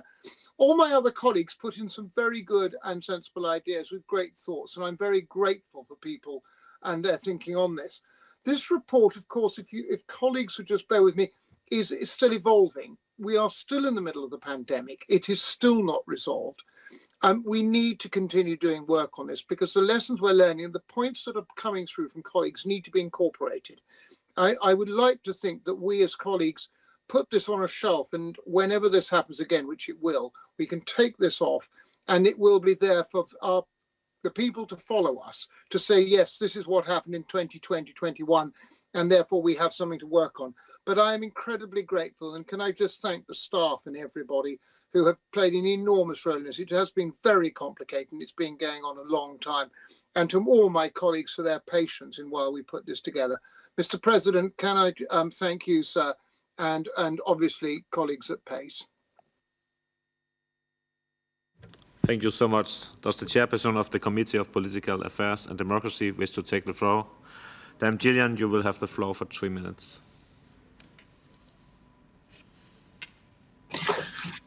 Thank you, President. First of all, can I thank um, both our own rapporteur on the Political Affairs Committee um, and also Mr. Vardanyan uh, for two excellent reports. And can I also thank the secretariat to our committee, um, particularly Despina leading um, the team and also Pavel and Sylvia. They have been working really hard. Um, following my statement on the 25th of March, when I warned that in times of crisis, parliamentary democracy cannot be put on hold, I launched an internal consultation among members of the committee, asking for their ideas and information. And I want to thank all 16 colleagues that replied um, and uh, and we had their input, very valuable. And in order to get a better insight into the various responses taken by parliaments of our member states, we sent a questionnaire to national parliaments via the European Centre of Parliamentary Research and Documentation. And I'm very pleased to report that 37 parliaments replied, and I am very, very grateful for that. I also want to thank the Venice Commission, which who contributed to our work, um, particularly with its new observatory on the situations of emergency and also the participation of the experts in our hearings. The pandemic is ongoing and there are consequences for all our lives and societies, and follow up is therefore necessary. The draft recommendation invites the Committee of Ministers to build on national experiences and good practice in responding to the pandemic and to develop checklists of parameters to help member states enable the fullest democratic participation possible in these emergency situations. Um, that work will be carried out by the Venice Commission and will help inform uh, future work of the Council of Europe. We also invite the Committee of Ministers to prepare guidelines on multi-level governance and response to emergencies, um, particularly noting that cooperation, coordination and exchange of information and good practice between the different tiers of government um, has proved crucial for the efficiency um, of member states' responses to the pandemic. Um, for our part, as a Political Affairs Committee, we plan to continue studying the impact of the crisis, um, and, but also to try and prepare for any future ones. Uh, we need to look at the pillars of the democratic system, and in particular the functioning of Parliament and the conduct of elections uh, in situations of emergency. But I would venture that we need to look even further forward. This is just work in progress, um, and we need to produce as a council more reports. I'm I'm heartened by the linked reports and the four that we'll be looking at today, including this one. But we need to look very carefully at how our democracies are communicating with citizens, what the role of unelected actors, such as scientists and medical advisors, and even pharmaceutical companies and researchers in developing vaccines. We perhaps need to look at the peacetime use of military support by democracies when the war is against a, an unseen enemy that we are all facing. And uh, we must look also at the suspension of uh, manifesto commitments by governments and how that affects the governance of the countries. I would echo um, some of our speakers' requests to make sure that our reports are distributed widely uh, and possibly more efficiently than ever before amongst not only our member states but a wider audience. Um, we must ensure that we are the guardians of democracy and uh, this report in congratulating Ian Liddell-Grainger is a great contribution towards that. Thank you for everyone involved. Thank you very much. Now I call Mr. Vardanyan to respond.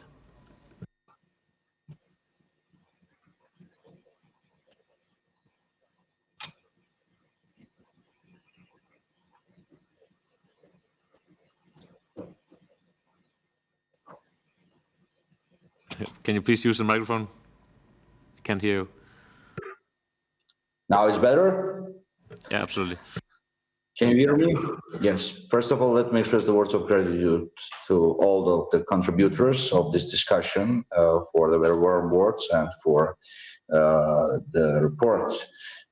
I would like also to uh, congratulate all the other reporters for preparing the excellent reports. I would like just to uh, address some uh, ideas which was discussed during this uh, conversation. First of all, uh, we actually tried to prepare our report within the mandate of the committee. That's why some issues are not uh, very widely discussed in the report. Uh, we, based on the very basic idea, very simple idea, uh, that the rule of law during the situation of emergencies is not in a sick leave, and the sunset clauses should be implemented as soon as it will be possible. I would like just to uh, address the issue concerning the using of new technologies. This was a, one of the challenging issues in our report, and we try to do our best to contact with the uh, Convention 108 committee and try to get the guidelines how to react in this situation. I would like just to say that every state tried to use uh, more or less such kind of applications, but not in all the cases we face the uh, relevant results. Uh, some of the contributors of this discussion mentioned that we always face the crises. Some years ago, we have a crisis concerning with terrorism. Now we have a pandemic. It's quite even dangerous when you have terroristic activities in the period of pandemic. And we should work together on this issue, I think. Uh, I'm, it's uh, it's very pity to listen some uh, critics from the countries uh, which are mentioned. By the way, I would like just to say that my country is also mentioned there because, uh, frankly speaking, nobody was perfect, and we just mentioned this in the review. But in the uh, report, but, nobody has any intention to shame or blame any country. That's why in the resolution you will find no reference to any country on this issue. I would like just to address the social media actually uh, some uh, discussions in the mass media related to the whether or not the uh, posts in Facebook or Instagram, the uh, the news such as there is no pandemic at all, this is false, should be limited. But we came to the conclusion that it's uh, on the edge of the freedom of expression, and uh, this would somehow create additional problems with the perspective of protection of rule of law and, uh, uh, and the freedoms. The best option is to keep the information as free as it is possible, and in this way to uh, fight against this. I would like just to address my Hungarian colleague. I would like just to say that first, we addressed in a report uh, to the issues which covered the period until the mid-June. That's why some information might be outdated. I understood perfectly well that uh, each country tried to use its own system of protection for uh, own population, but I would like just to say that we uh, concentrated on the measures, we concentrated on the issues which are uh, which may be uh, useful for the other countries to uh, address. Uh, I would like just to uh, say that for sure parliaments shouldn't be substituted in the case of emergencies in any case. Constitutional courts are very important, but simultaneously they are. Uh, this is a long-term procedure, and uh, parliamentary oversights to, over the activities of the government during the pandemics are very important. I would like just address also the children rights. It's the most complicated issue, believe me, and we don't do not penetrate in this issue, taking into account that this is rather the issue for the, uh, the Commission of Equality. But uh, we understood how uh, complex this issue is, and the state should be very uh, precise in regulation in regulating these issues. Like also mentioned that uh, uh, addressing my Turkish counterpart, the Turkish counterpart, that the, there was no state of emergency in Turkey. I would like just to say that we uh, uh, we do not concentrate on the issue whether there is official state of emergency or not. We concentrated on the issue whether measures undertaken by the countries are corresponding to the ideas of rule of law and basic standards of Council of Europe. I would like once again to uh, thank you, all of you, and especially the Secretariat of the committee for assisting me in preparation of this report. Thank you. Thank you so much, Mr. Vardanyan. Does the chairperson of the Committee on Political Affairs and Democracy wish to take the floor? Legal, legal affairs. Legal affairs. Sorry, Mr. Cilevičs, you have the floor.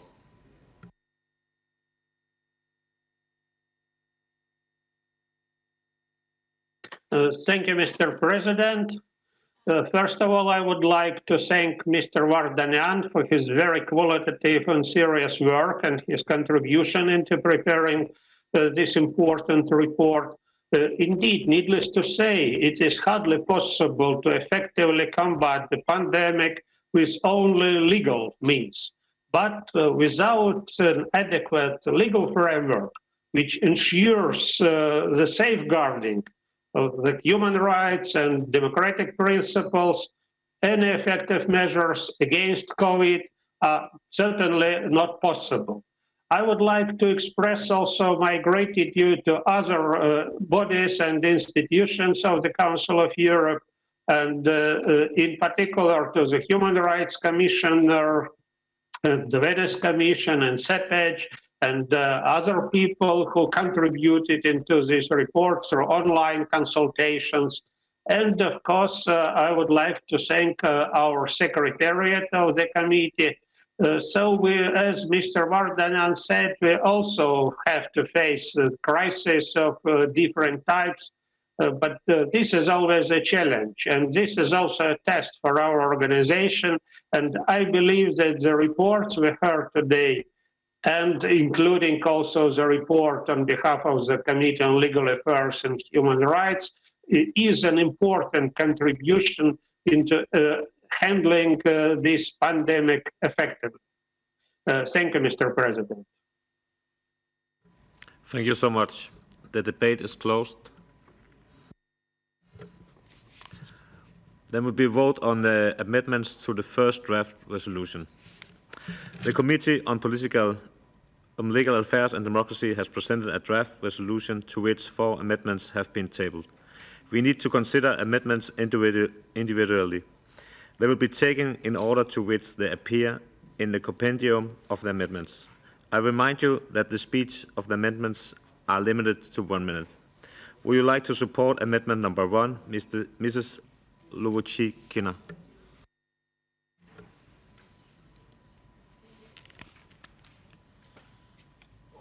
Dear colleagues, uh, as I said in my presentation, uh, when assessing how different member states have reacted to the global pandemic, it is essential to take uh, into account the specific constitutional and legal order as well as democratic environment in each country. And uh, this amendment uh, presents exactly this idea into the report. It was supported both by the rapporteur as well as unanimously in the uh, monitoring committee. So uh, please accept it and support it.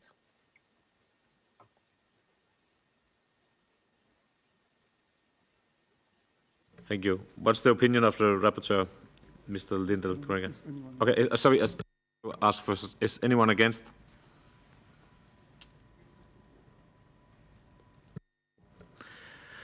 The opinion of the rapporteur, Mr. Liddell, Grainger, please have the floor. I think in basis that there is no great problem, we can incorporate that into what we're doing. Thank you. We will now vote of this amendment. The vote is open.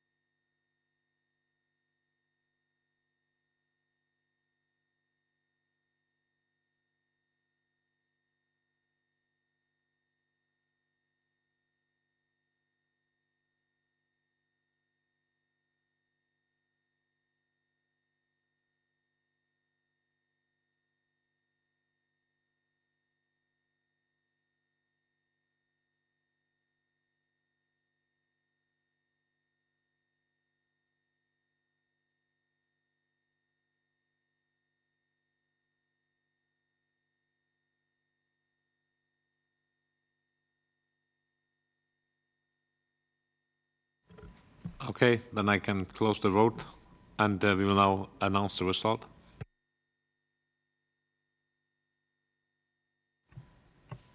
Mr. President, 20 members voted in favor, no against, and two abstentions. There are still some members without voting rights who have participated in the vote. That's why their votes have been deducted from the result. 20 in favor, two abstention. Thank you. Thank you. Uh, who would like to support amendment number three? I ask Mrs. Uh, Bashkin.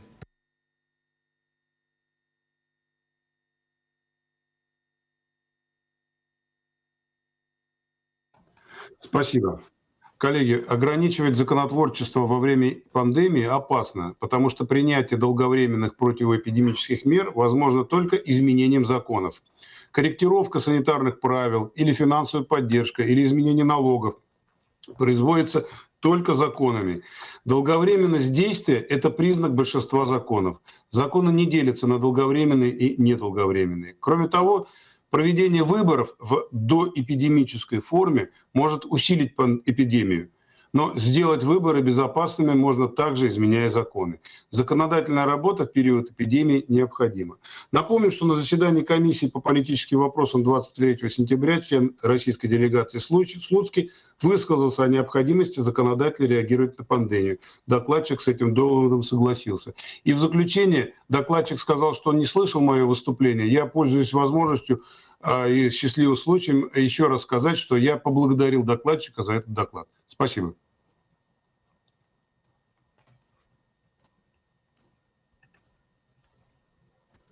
Thank you. If amendment number three is adopted, amendment number four will fall. Is anyone wish to, to speak against?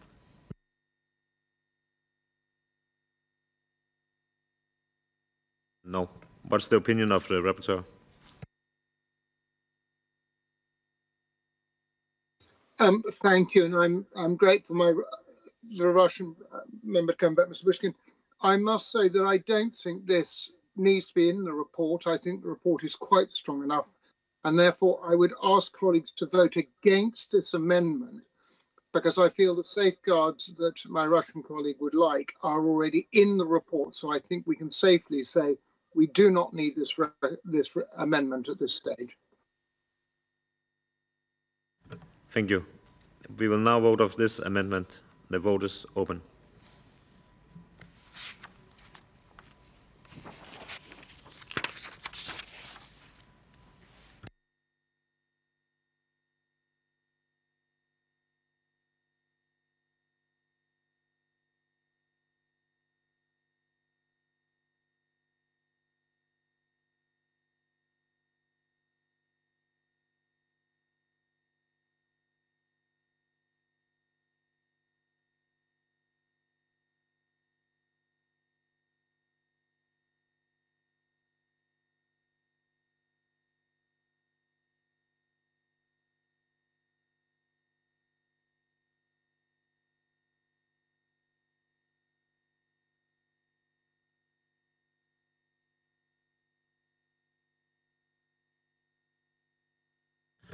The vote is closed. I ask for the result to be displayed.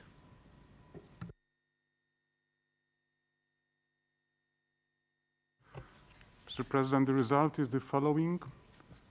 One in favor, 20 against, and four abstentions. Thank you.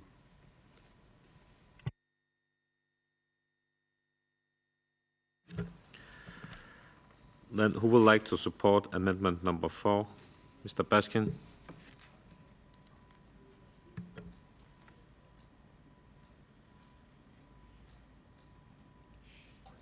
Уважаемые коллеги, господин докладчик высказался против ужесточения фона общего текста и поэтому предложил отклонить поправку номер три. Вот поправка номер четыре является компромиссом и как раз смягчает позиции. То есть она допускает проведение неких голосов законотворческих, принятие законотворческих актов, а в том числе и, а, кроме этого, и голосование, проведение различных выборов, которые также необходимы для того, чтобы обеспечить нашу нормальную жизнь. Однако смягчает э, оговоркой при соблюдении э, различных э, безопасных мер. То есть э, за исключением случаев, когда обеспечено безопасное волеизъявление населения. И выборы и иные процедуры, связанные с голосованием, проводятся э, с учетом, с принятием мер, которые исключают распространение пандемии. Просим поддержать поправку. Спасибо. Thank you. Anyone against? No. What's the opinion of the rapporteur?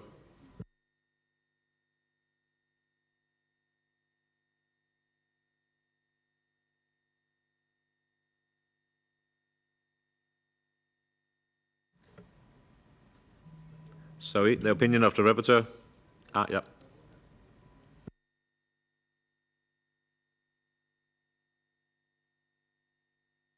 Gillan from UK. Okay.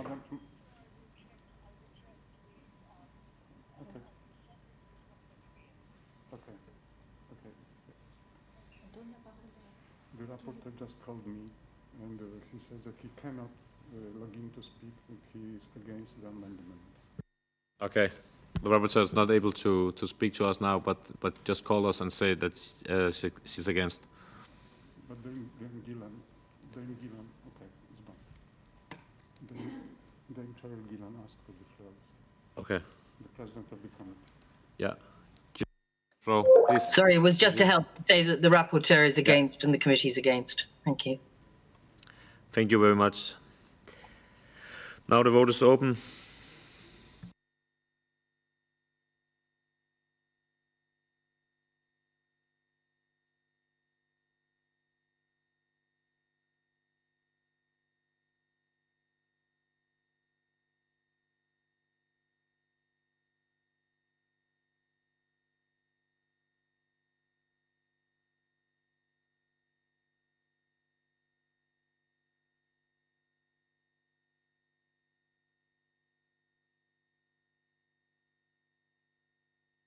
We now close the vote. And I ask for the result to be displayed. Mr. President, the result is the following. Two members voted in favor, 20 again, 21 against, and two abstentions. Thank you. The amendment is rejected. Who would like to support amendment number two? Mrs. Lovok-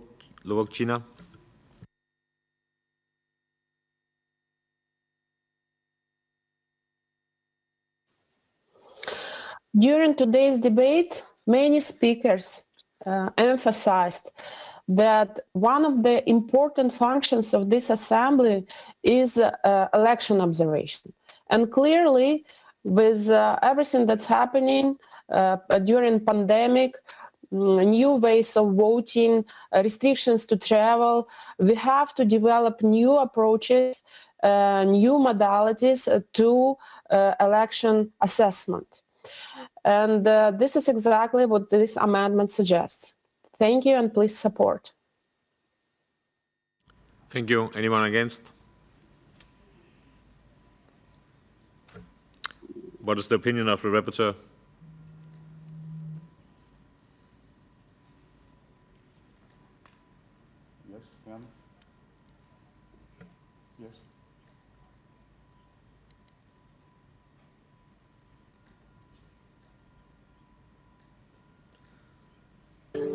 The rapporteur supports that, if that's helpful.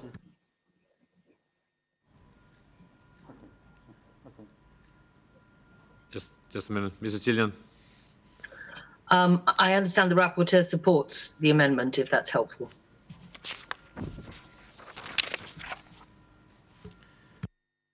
We'll now vote on this amendment. The vote is open.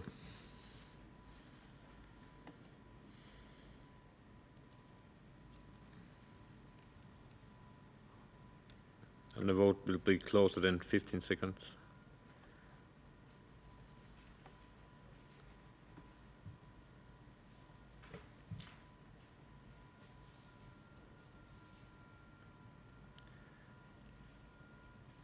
The vote is closed.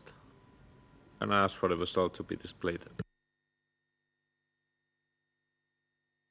Mr. President, there are 22 in favor, no against, and uh, abstentions. The amendment is uh, agreed to. And we will now proceed the vote to the draft resolution, Democracies Facing the COVID-19 pan Pandemic, document uh, 15-157 is amended. To be adopted, a simple majority is required. The vote is open.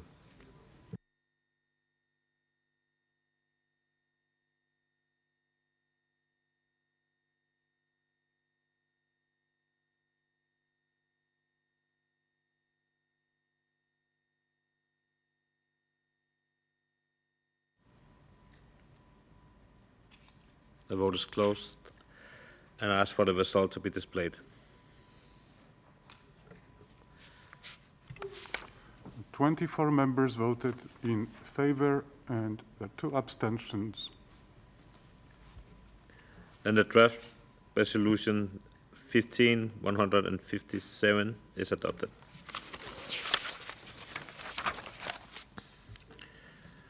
The Committee on Political Affairs and Democracy has presented a draft recommendation, Demo Demo Democracies Facing the COVID-19 Pandemic, to which no amendment have been tabled. We shall now proceed to vote on the draft recommendation contained in document 15-157 to be adopted. A two-thirds majority is required. The vote is open.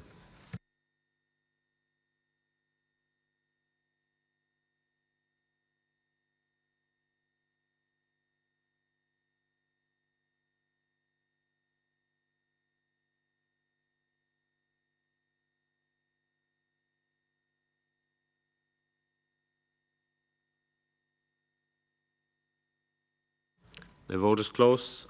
I ask for the result to be displayed.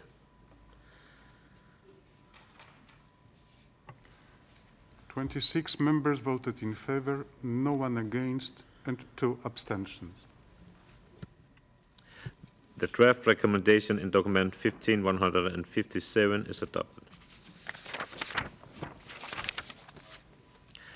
The Committee on Legal Affairs and Democracy has presented a draft resolution on the impact of the COVID-19 pandemic on human rights and the rule of law, document 15-139, to which two amendments have been tabled.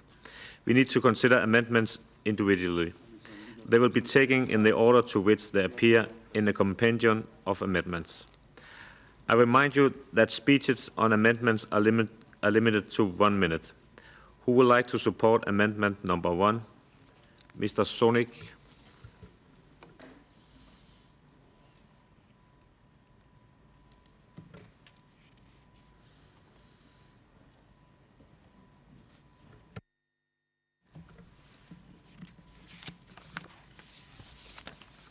Mr. Sonik, please, you have the floor.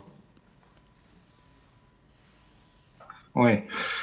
Alors, amendement A, euh, première, dans le paragraphe 3 du projet de résolution, avant les membres de phrases qui commencent par le mot les journalistes, les teneurs d'alerte et les défenseurs des droits de l'homme, insérer les propositions suivantes.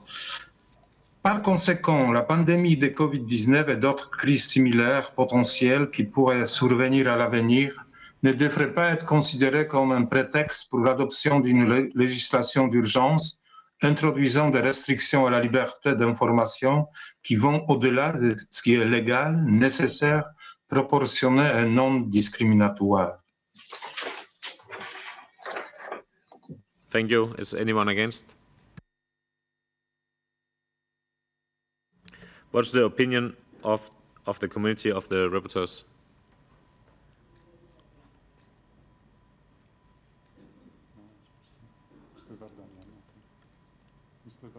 Oh, Mr. Vardanyan, please. Uh, I would like to congratulate and uh, express the words of gratitude to the Mr. Sonik for this amendment. I am very much in favor of this amendment because it has a, a very uh, preventary. Uh, in essence, in the future crises, this situation may be used as a pretext. Uh, I don't want to mention the names of the countries, but uh, I think that it's quite important to mention that this kind of legislation shouldn't be, uh, this kind of crisis shouldn't be used as a pretext for uh, limiting of the human rights. in this way. So I am in favor. Thank you, Mr. Vardanyan. The vote is open.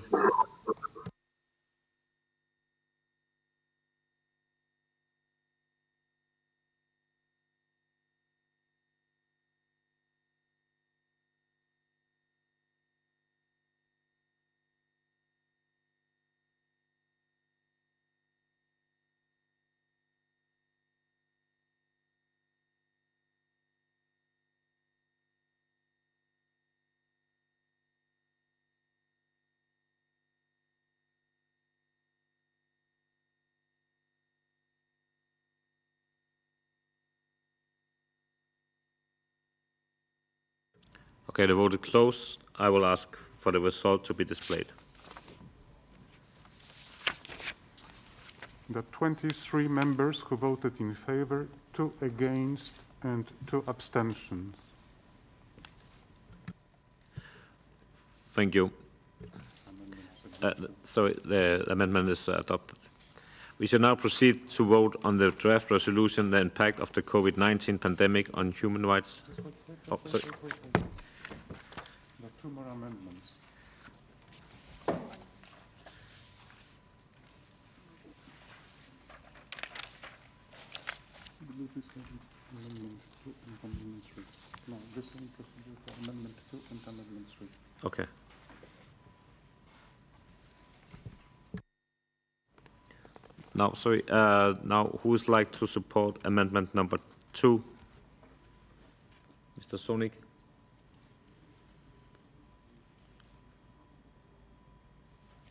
Yeah, Mr. Sonic, please, you have the floor.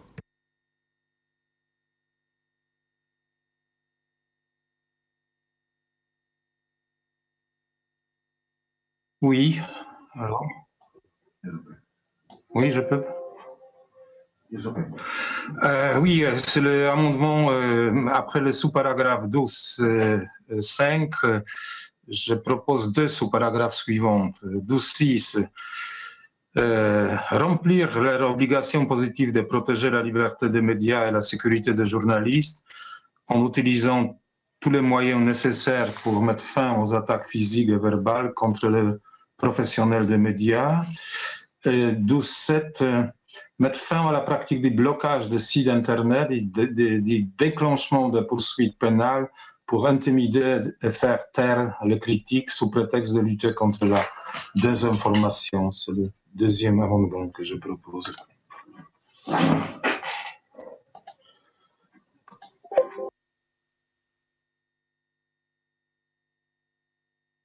Thank you, Mr. Sonik. Anyone against?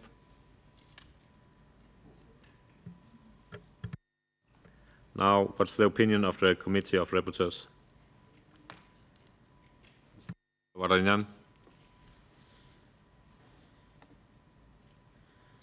Uh, this is quite important for the countries, members of the Council of Europe, to respect the rights and safety of the journalists, and that's why uh, I'm 100% for uh, these amendments and addressing to the issue of the second amendment, uh, 12.7, the practice of blocking websites. I do believe that this is also a very important amendment because First, this is improportionate and uh, it's useless because in the digital era it is impossible just by blocking websites to control internet. So I am very much in favor of these amendments.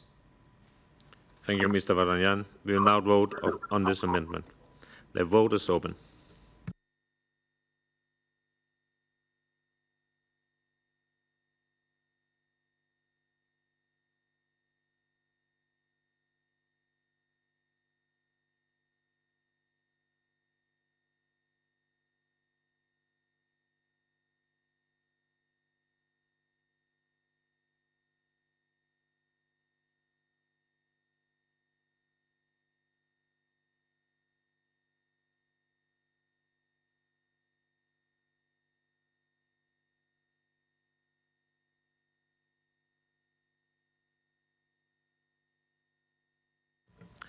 The vote is closed. I will ask for the result to be displayed.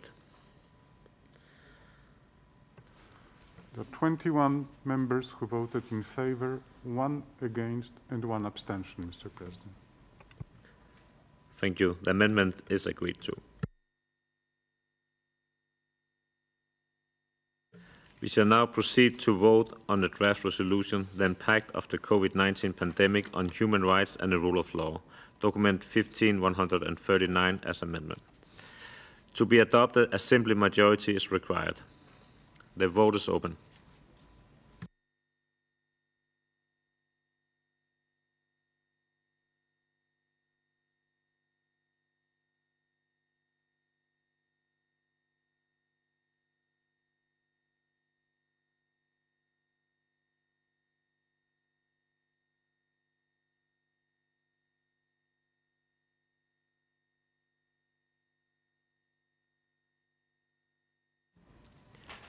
The vote is closed. I ask for the results to be displayed.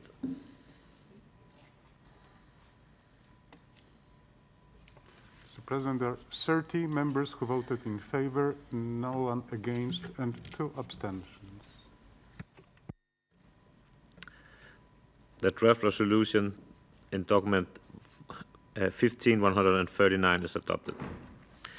The Committee on Legal Affairs and Democracy has presented a draft recommendation, the impact of the COVID-19 pandemic on human rights and the rule of law. Document 15139, to which no amendment has been tabled. To be adopted, a two-thirds majority is required. The vote is open.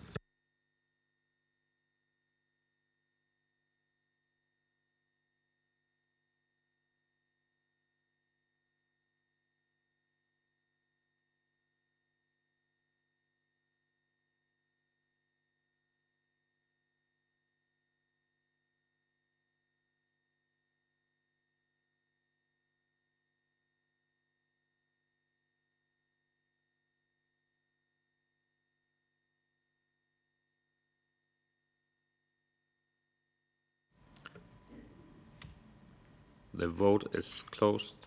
I ask for the results to be displayed. Mr. President, there are 27 members who voted in favor, no one against, and two abstentions. The draft recommendation 15139 is adopted. Thank you. This will be the end of the sitting. Thank you. The, the, sitting, next sitting at 4 to 30. Yeah.